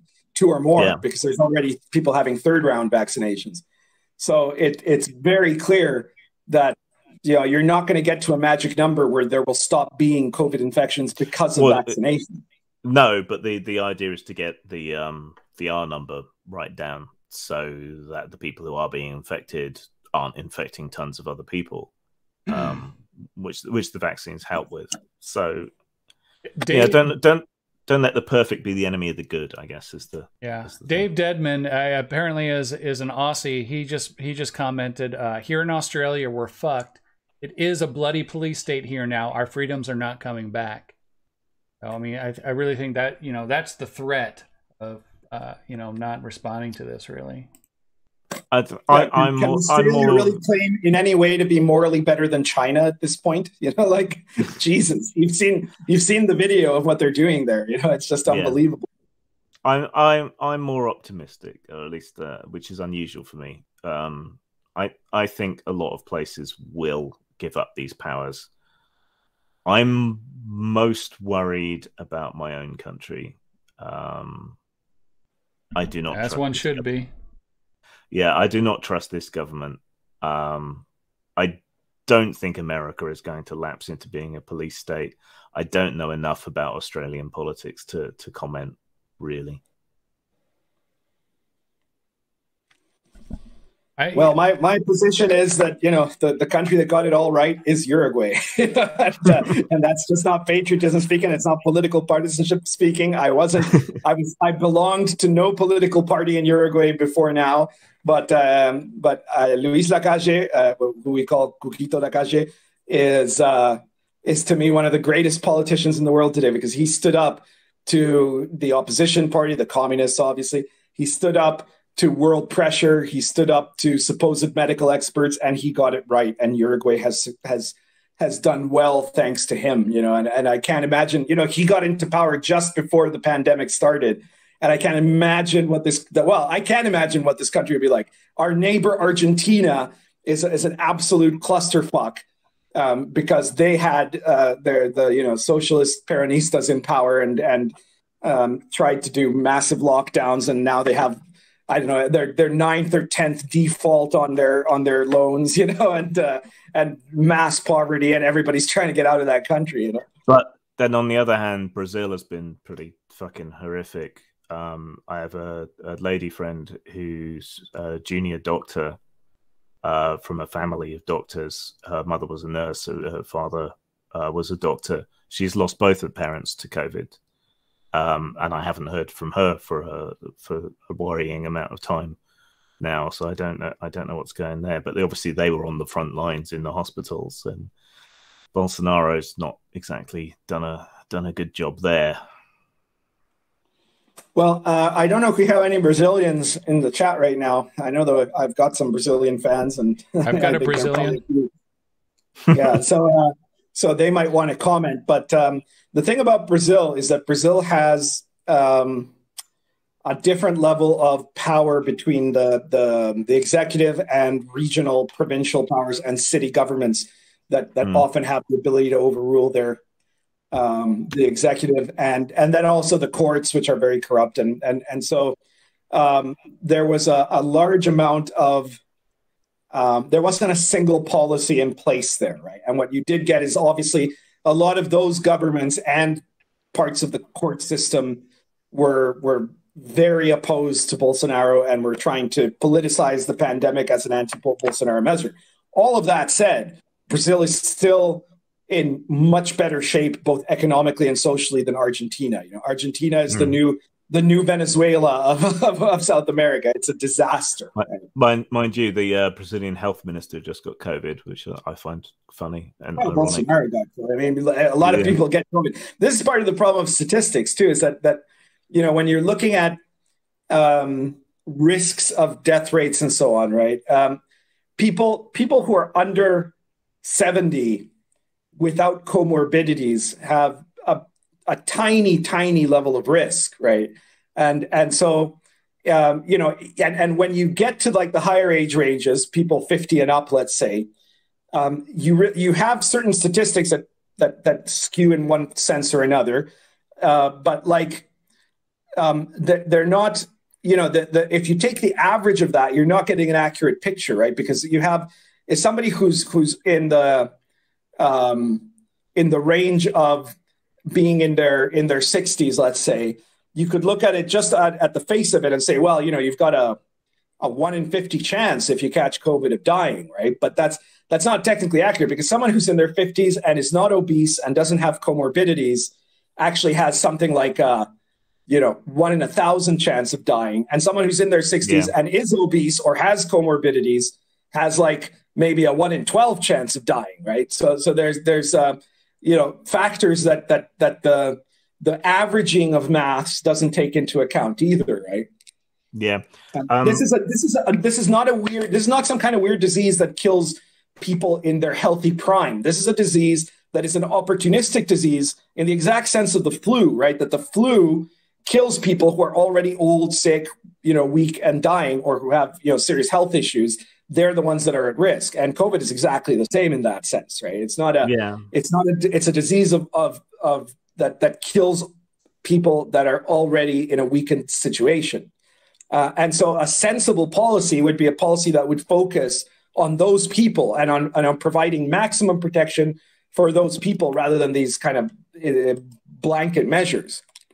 It's brought home to me um, a, a, couple of things which um, are going to be big concerns going into the future. I think it's it's brought home to me exactly how fragile our society is, and all the infrastructure and all the, you know the just-in-time shipping, all the other things. They're they're really on a knife edge at, at, at every moment.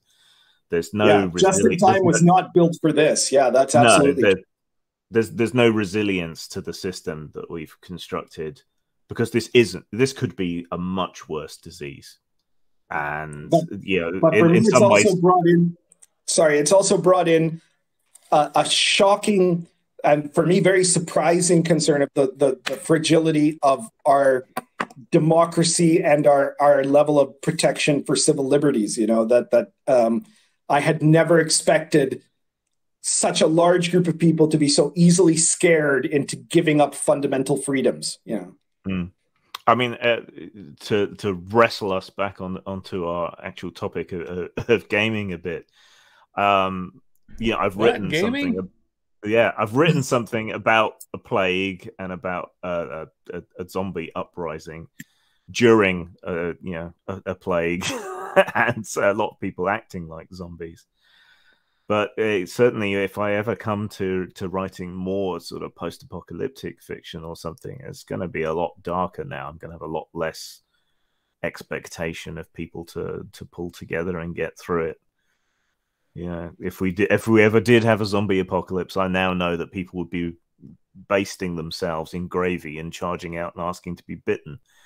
It's just that I, I, I have a much darker view of how we how resilient we are now. Yeah, I, I could say that if I ever write a, a dystopian setting, um, I would I would no longer feel the need to have very heavy-handed techniques for creating people willing to uphold the dystopia. Right? We've we've proven mm-hmm. in this society now that suddenly there's there's a huge percentage of people that would have happily happily happily been Stasi informants in in, in East Germany. You know, if they'd they'd had the chance. People who are literally reveling in the idea of taking away other people's freedoms.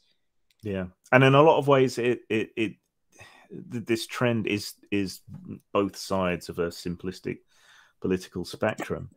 You know, you've got you've got bounty hunters hunting down uh, women who want abortions in Texas, and then on the other side of the line, you've got yeah the brutal repression of people in Australia, um, and you've got certainly got a, a power grab for authoritarian measures, which I'm still slightly optimistic they'll give up voluntarily in most of the countries, but it remain, remains to be seen. Yeah, you're too trusting. yeah, well, and, and I don't you know, get, I don't understand your whole often. fucking. Now I understand your politics. You just you're naive. It's okay. I, I, I'm glad you kind of brought up abortion there because it's very interesting to see a whole bunch of people, um, you know, that that say my body, my choice when it comes to abortion, but then say, well, you know, we should just force people to be vaccinated. You know, like uh, I think there's a fundamental cognitive dissonance going on there um, because I, well, I mean, you know, if you're if you're if you don't believe in the woman's right to choose, then I guess you would at least be logically co- coherent in saying also people could be forcibly vaccinated, right? But if you I, I, if you do believe in in the fact that people should have a choice over what they do with their own bodies, how the hell can you be justifying this? I, I don't know that that's a particularly good comparison because you can't get pregnant from someone coughing near you. So unless oh, God knows how that would that would happen. No, that's right. You I, have the choice to be. I, I, mean, nobody's nobody's saying people should be pre- prevented from being vaccinated, right? Uh, so, you know, yeah, the, but it's it's your body, it's your choice what you do with it, right? But uh, but the the the difference is that at least how to, put this. Um, one is a communicable disease, right? Now you can take all the precautions in the world, nothing is perfect, and other people are then being irresponsible with your health. So they're impinging upon upon your choices. It's it's, it's the classic freedom from versus freedom to um, clash I mean, if you choose not to get vaccinated, if you choose not to wear a mask, if you choose to go and hang around with lots of other people, it's not just you that is being affected by those choices. you know, the all... argument could be if you choose not to use a condom, then you're going to yes. have to live with the human life that is developing in your womb, right? That would be that would be a, the, the, the pro life perspective, right? Yeah, con- condoms, but condoms break. You know, shit shit happens. Um, but I, I, just don't think it's a particularly valid comparison because there's there's too many too many differences. I mean, any any allegory, any metaphor, any comparison you draw always breaks down under close examination, but that breaks down early enough that I just I don't think it's valid. Well, the fundamental argument is that you either believe people have autonomy over their own bodies or they don't. You know, like you're you're you're but do they have autonomy over my body? That is a fundamental libertarian concept, right? You can't call yourself a libertarian if you don't believe that your freedom ends at my nose. Yeah, yeah, but if you've coughed a bunch of disease droplets, they're going to float up my nose. So yeah, it does, it does, it does breach other people's freedom. So then you have to figure out, okay, what's what's the balance here? How do you preserve the greatest amount of freedom for the greatest number of people? You know, it's. Well, it, I mean, it's, you're you're free to be vaccinated and therefore protected against the effects of my cough. You know, or well, Venger's cough because I'm not coughing. but again, you know, nothing's perfect, and there are people who can't take the vaccine for medical reasons, and you're placing them at risk. So it's like, yeah, you might have the right to own a firearm, but you don't have the right to just fire randomly into a shopping mall right? It, you, have got to balance the two together: the freedom from and the freedom to. Um, and you are impinging on other people. So right, but I mean, the the false equivalency there would be like shooting a gun at somebody is not like breathing 15 feet away from them. I mean, oh well, uh, make it uh, make it Russian roulette. um, yeah, I just mean that like there is like a big difference between the two. It's it you know and and in in, in regards if to you wash your hands and like wear a mask, like you're low, you much lower your your chances of of communicating to other people. So. Yeah, but they would be even lower if other people act responsibly. Right, but we're we're talking about fractions of percentage points at that point. It's like To me, yeah, like, but then, it, but then it, at a civilizational scale, um, that's still a lot of people. Um, okay. Well, is it, is it is it one in? Oh, I, I, can't remember the statistic, but um, no, yeah, never mind. Let's let's move on before my blood pressure spikes and I have a stroke on stream. I'm just trying to win We're the trying. time. I want, I want to get the IP for for Wightchester. I can make you stroke out, I win, right? I get, I get the, well, all the Venger's already out as far as you know. It sure, sure looks like he's, by, by he's not down, hanging so, up. So it's going to come down to me or Jobe. People keep placing your bets right now as to which of us will be the well, last inappropriate character. I, actually, I have. I, I did make provisions in case something happened to me. So. Oh well, that's good to know. I uh, you know, sometimes recently I've been feeling I'm, I'm a bit like Belisarius, you know, the last of the true Romans, you know, uh, living in a world where, where, where everybody else has just given up on all of their principles for, you know, because they're afraid of a cough. Yeah.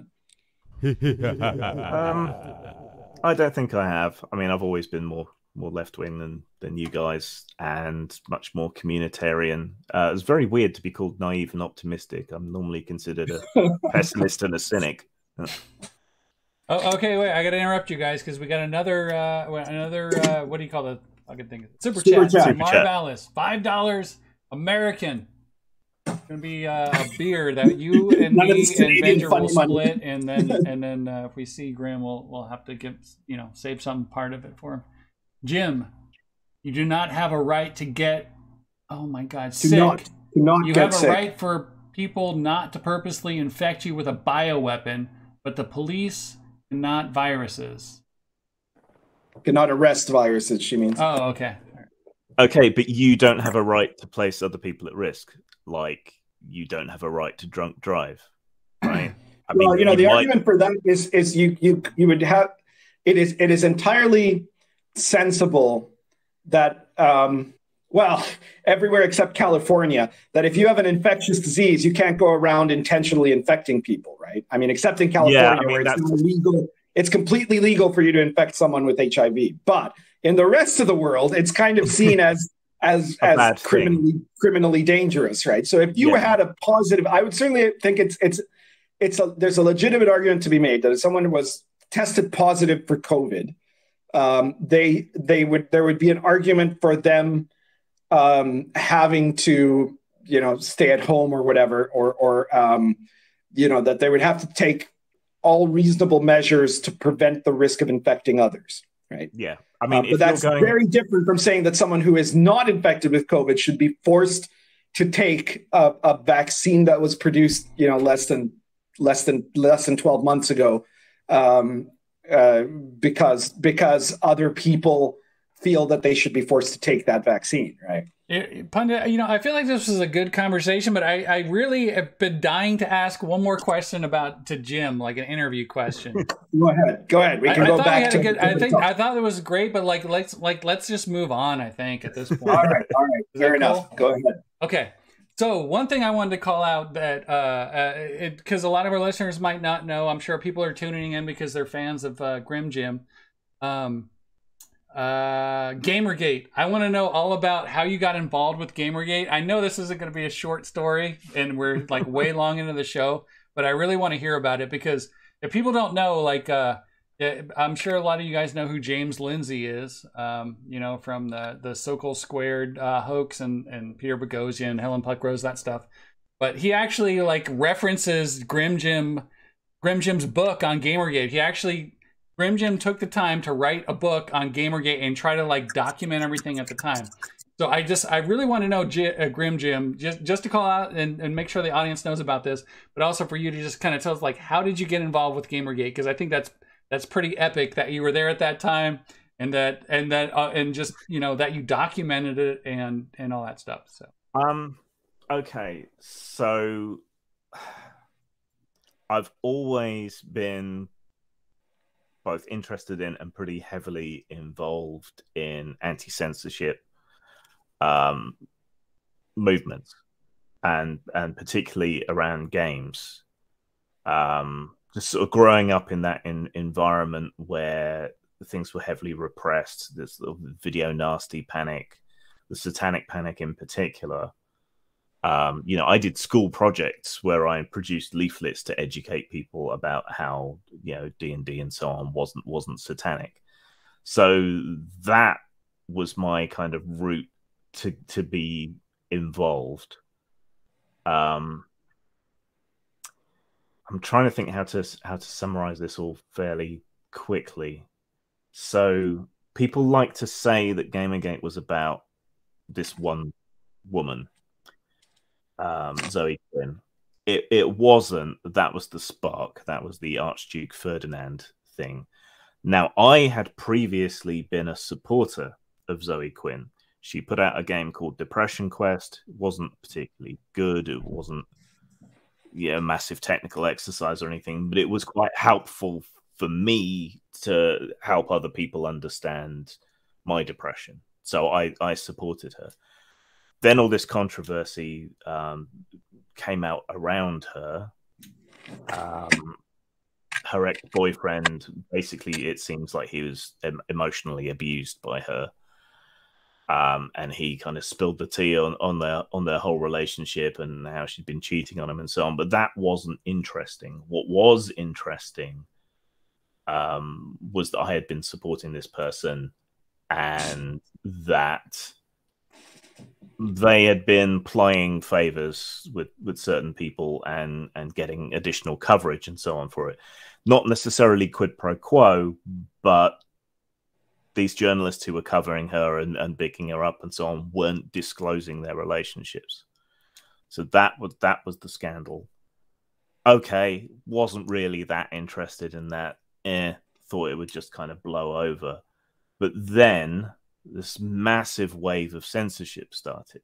Yeah, even 4chan was censored. Nobody was allowed to discuss this or uh, the things that had been gotten up to or the fact that the the computer games uh, media was complicit in all this, weren't operating ethically, and were shutting down all discussion of this. And so people really sort of turned, yeah, the the eye of Sauron upon the games media and started uncovering all kinds of other shady practices. You know, good good reviews for Payola, things that we knew were happening in the past but this was so much worse because a lot of these indie designers and so on had presented themselves as being better, um, not being part of that that world, the the the grind and the sleaze and the and everything. But it was the censorship that really um, got me engaged, got me interested. From my point of view, it was another moral panic like I'd seen with video nasties, like I'd seen with comics, um, like I'd seen with role playing games in particular. And it made no sense to me that other creative people in that industry or adjacent industries like like ours weren't standing up and fighting. So it was a it was a very weird, rude awakening for me to see that these people who I'd fought side by side with against the Satanic Panic and the Vampire Panic later on and so on weren't willing to stand up on this, which seemed weird because computer games it's a bigger industry than Hollywood. Um, you know, the amount of money sloshing around is not insignificant, so it's important culturally, financially in, in so many ways, and yet they weren't willing to stand up. And so, what led me to write the, the, the book, the sort of history of Gamergate, was it turned out the reason that so many of them were unwilling to stand up was because the media narrative was so utterly sort of airtight and one sided that they didn't know what it was about, they didn't understand what had happened, or they were too terrified to to stand up and say anything and it was obvious to me that it was only that media narrative that would be remembered. Um, so it was important to have a history from inside, uh, from the other point of view, though I strove to be as, as, neutral as possible and to back everything up as, as much as possible. but I felt that it was really important to have that that record, however insignificant it was going to be. Um, yeah, and it certainly wasn't going to make a make a huge difference, but just just to have that record, just to set the record straight. Well, there's certain straight. people in you know in media that will not let GamerGate die, and uh, no, I think no, they... that you wrote that down. I think is gonna like inform people in the in the future. So I hope so. Thanks for um, doing that. So, certainly, uh, my book seems to get mentioned a lot whenever anyone spuriously brings up Gamergate when they're arguing about something else. So, I, I, I don't know, but um, it was a worthwhile project. I think it was worth doing. Well, uh, and that book is free, right? People can download it. I think that's what I did. Uh, you can listen to it on my YouTube channel. Um, otherwise, it's available uh, if you've got that Amazon Unlimited thing, you can read it for free. I think uh, in ebook format. Um, oh, I think that's where I saw it. Yeah. Yeah. Yeah. Anyway, I just was uh, just so our listeners, if they want to check it out, they want to get the real the real dope on um, GamerGate. Well, I've got some breaking news for you guys. Um, I just saw that it has apparently been announced at the D and D celebration event um, in a panel that featured, among other people, uh, Ray Winninger and Chris Perkins and Jeremy Crawford, that uh, they've announced that Wizards for uh, to come out in 2024 will be doing a new evolution of the three core books. They they did not call it a new edition, uh, but they said that there's going to be a, basically a radical reworking of uh, of these rules. Writing um, essentials. Is that what you're saying? Something like that. Yeah, yeah, yeah. And uh, well, we can all guess what the, the political agenda behind that uh, that new evolution is going to be all about. You know, uh, so I guess we'll have to stay tuned for more information about that. There isn't a lot a lot of detail yet of what they're going to be doing, but uh, uh, we all know which way that particular crew is going to to lead this into. So what do you think is going to happen, Grim? How does that news strike you? What Sorry, go ahead, Grim. I'm just saying, what's your comment on that, Grim Jim? Um, when they say radical change, it does sound like a new edition in anything but name. Uh, I think that's a mistake. Um, I don't think it's the right time for a new edition. I mean, typically you'll get one every five years or so, but I don't think it's the right time for it. Um, but if someone wanted to set up, uh, wanted to copy what Paizo did and keep going with the fifth edition, now's the time, I guess. I don't know. I guess, I guess we'll see. Maybe they're just saying radical changes, and it won't be. It'll just be the same bullshit we've been seeing for a while. But uh, yeah. Well, they've they've stated that they're going to rework the three core books. Um, they're they're saying that it will be backward compatible with fifth edition. Um, and so what that smacks me as being is a mix of a some slight rules updates with a large element of cultural update, let's say. You know, yeah, their, yeah, yeah. I hear revisionism coming update. through. They're going to change like how the stat. You know, dwarfs can't have plus two Constitution because that's a racist for some reason. Oh yeah, there'll be no racial modifiers anymore. Yeah. That's that's almost for sure. You know, no more alignment. Orcs will all be, you know, uh, kind, charitable people that have a have a, a vibrant and and uh, diverse culture. You know? so maybe it'll be more of a three point five I guess. I, I, I don't know. There's not enough information to really speculate, but I think we can all, yeah, like you said, the alignment. Ratio. I think we can all agree that it's going to suck. Whatever they, whatever they do, whatever that group of designers decides on, yeah, it's going to be the, bullshit. Given the people that are in charge of Wizards, it, I, I'm I'm I would put really hard money that it's going to massively suck, undoubtedly. I, I I just really think it's not the right time to do it. That that's that's my main takeaway? Well, you know, looking at the success that the D&D is still benefiting from, um, you know, they've left it for, yeah, it's something that's not going to come out until, you know, two and a half years from now. But, but uh, it seems to me like the decision to change this is not necessarily based on economic reasons, right? Like there's there there's still, in spite of of of some of the stuff they've been putting out, which I'd say is getting worse.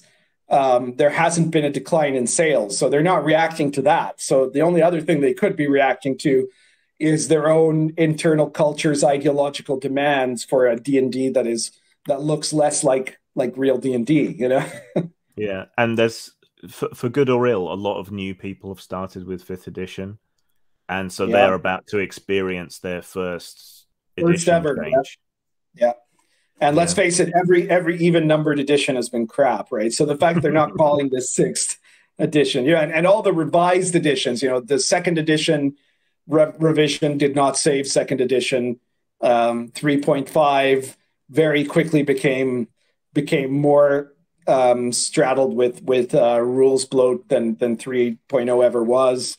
And Essentials just was the was basically the nail on the coffin of fourth edition, right? So um, there's never been an edition update that made a game better. Even Unearthed Arcana didn't make AD&D better, you know. So there's uh, there's no good precedent here from which they can they can uh, claim uh, improvement. Are you guys want to wrap it up, Brucey? We've been pretty going yeah, pretty long say, for There's not enough to know about that. Maybe in two weeks from now there'll be more information, and then we're because yeah. you know inevitably some of these virtue signalers and, and wizards are going to start saying stuff about it now. So uh, uh, that'll probably be a very interesting topic for you know our our next episode, which will be uh, on I guess the 24th of October, and uh, you can. Assuming assuming that that schedules allow, and uh, we'll see whether we'll we'll we'll have Venger back by then, or or what his situation is going to be. Um, okay, let's, let's all hope Grim Jim instead.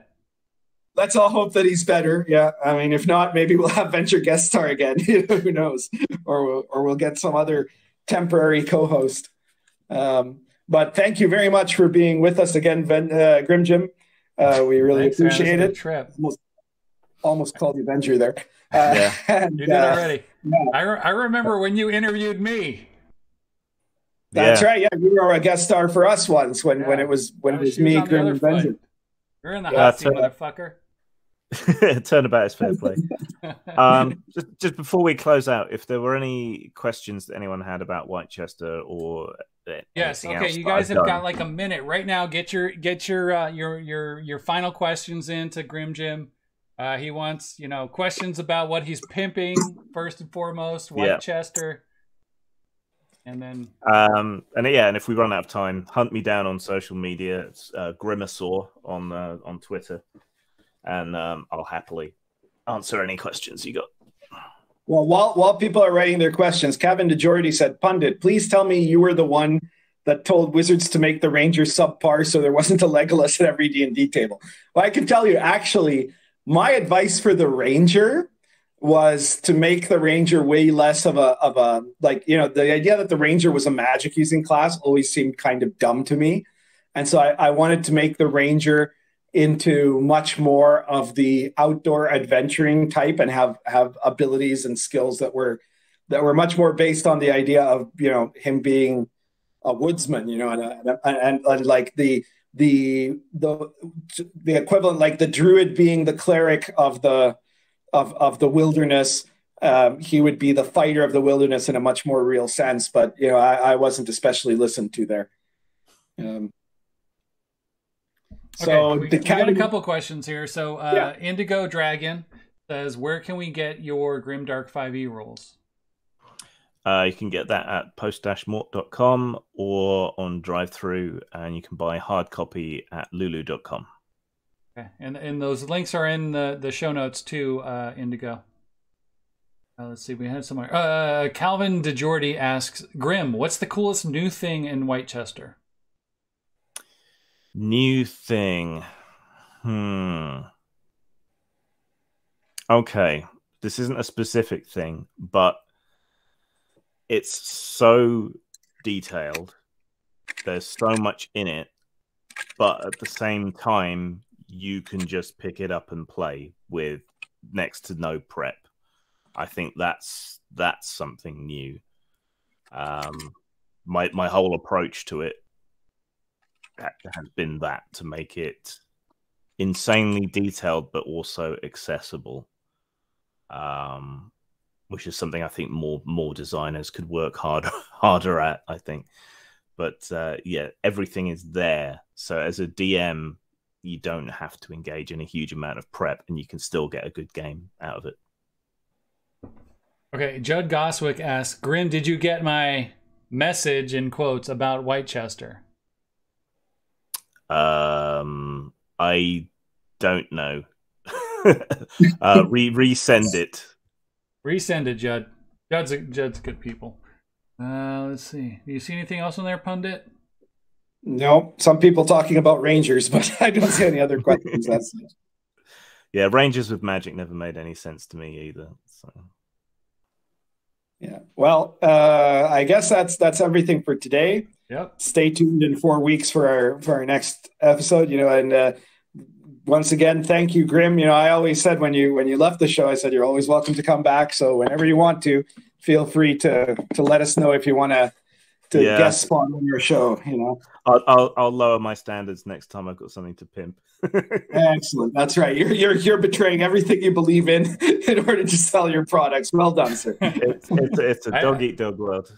I'd really like to, you, you to come back, but topless. Debate on our on our differences of the the issue of the day. So I like that. Uh, yeah. yeah, I, I, you know, I follow you on on Twitter all the time. I don't agree with your politics, Grim, but I love you. I think you're a great person. well, that's that's what I like to hear. Okay, you know, so it's it's it's nice to be able to talk to people you disagree with. Yes, in a, in a reasonable definitely. way. Absolutely, absolutely. And we, we at the end of the day, you're like, really hey, we're still friends. More people who are who are left wing on this show, you know, but so few of them have any balls, you know, that it's makes it hard yeah. to, to find any that would be that would be brave enough to come on. Yeah. Well, I can consider coming back if you if you ever need me in for a particular topic or or something. If you need a left wing perspective. Right. yes. So, so, if if if Venger is is uh, is still coughing his lungs out, then uh, we'll we'll let you know in four weeks. All right. all right. No, no, no. What we need to do is every time Venger's wife makes him go to bed, we'll just we'll just cut his feed and we'll bring in Grim Jim. That's right. Is that still happening? it's yeah, still, still happening. Yeah. And speaking of which, if all of you in the audience want to help Venger get to stay up later, then uh, be sure to support us on Patreon. You know, that's uh, why do you even say that? Hope. You know that's bullshit. That's never gonna happen. Oh fuck, my battery's dead. Your battery's gone, man. yeah, that's okay. Well, they can hear me. That's never gonna happen. Yeah. Even even if we got like five thousand dollars a month in Patreon Grim's or, not Grim, sorry. Venger's wife is still gonna make him go to bed at seven o'clock. oh man, that's funny. Well, wrap, wrap the show. I've got to go to bed. All right, all right, guys. Thank you so much, everyone, and uh, we'll see you soon. Check us out on our individual channels. Uh, subscribe to to Grim's channel, to mine. Uh, does Jobe have a Job? Do you have a YouTube channel? I don't think so. I don't, man. I got so many kids. I'm trying to write Brutal Blades. Like I, I one day I'll do something. You want to keep in touch, keep track of what I'm doing? Just, just come and hang out here on once a month. Fair enough. Oh, also before, just before we go, uh, Venger asked us to to say that in the next few days he will have uh, the Crimson Escalation PDF up on drive through. So uh, um, if you want to help Venger during his his time of I don't know quarantine or whatever he's in. uh, check check that out on drive through in the next few days. All right, thanks everybody. That's Appreciate it. it. Thank See you. you guys Thanks you, Grim, Thank Grim Jim. Hold on a second, Grim Jim. We what? are going to close out the stream here. One second.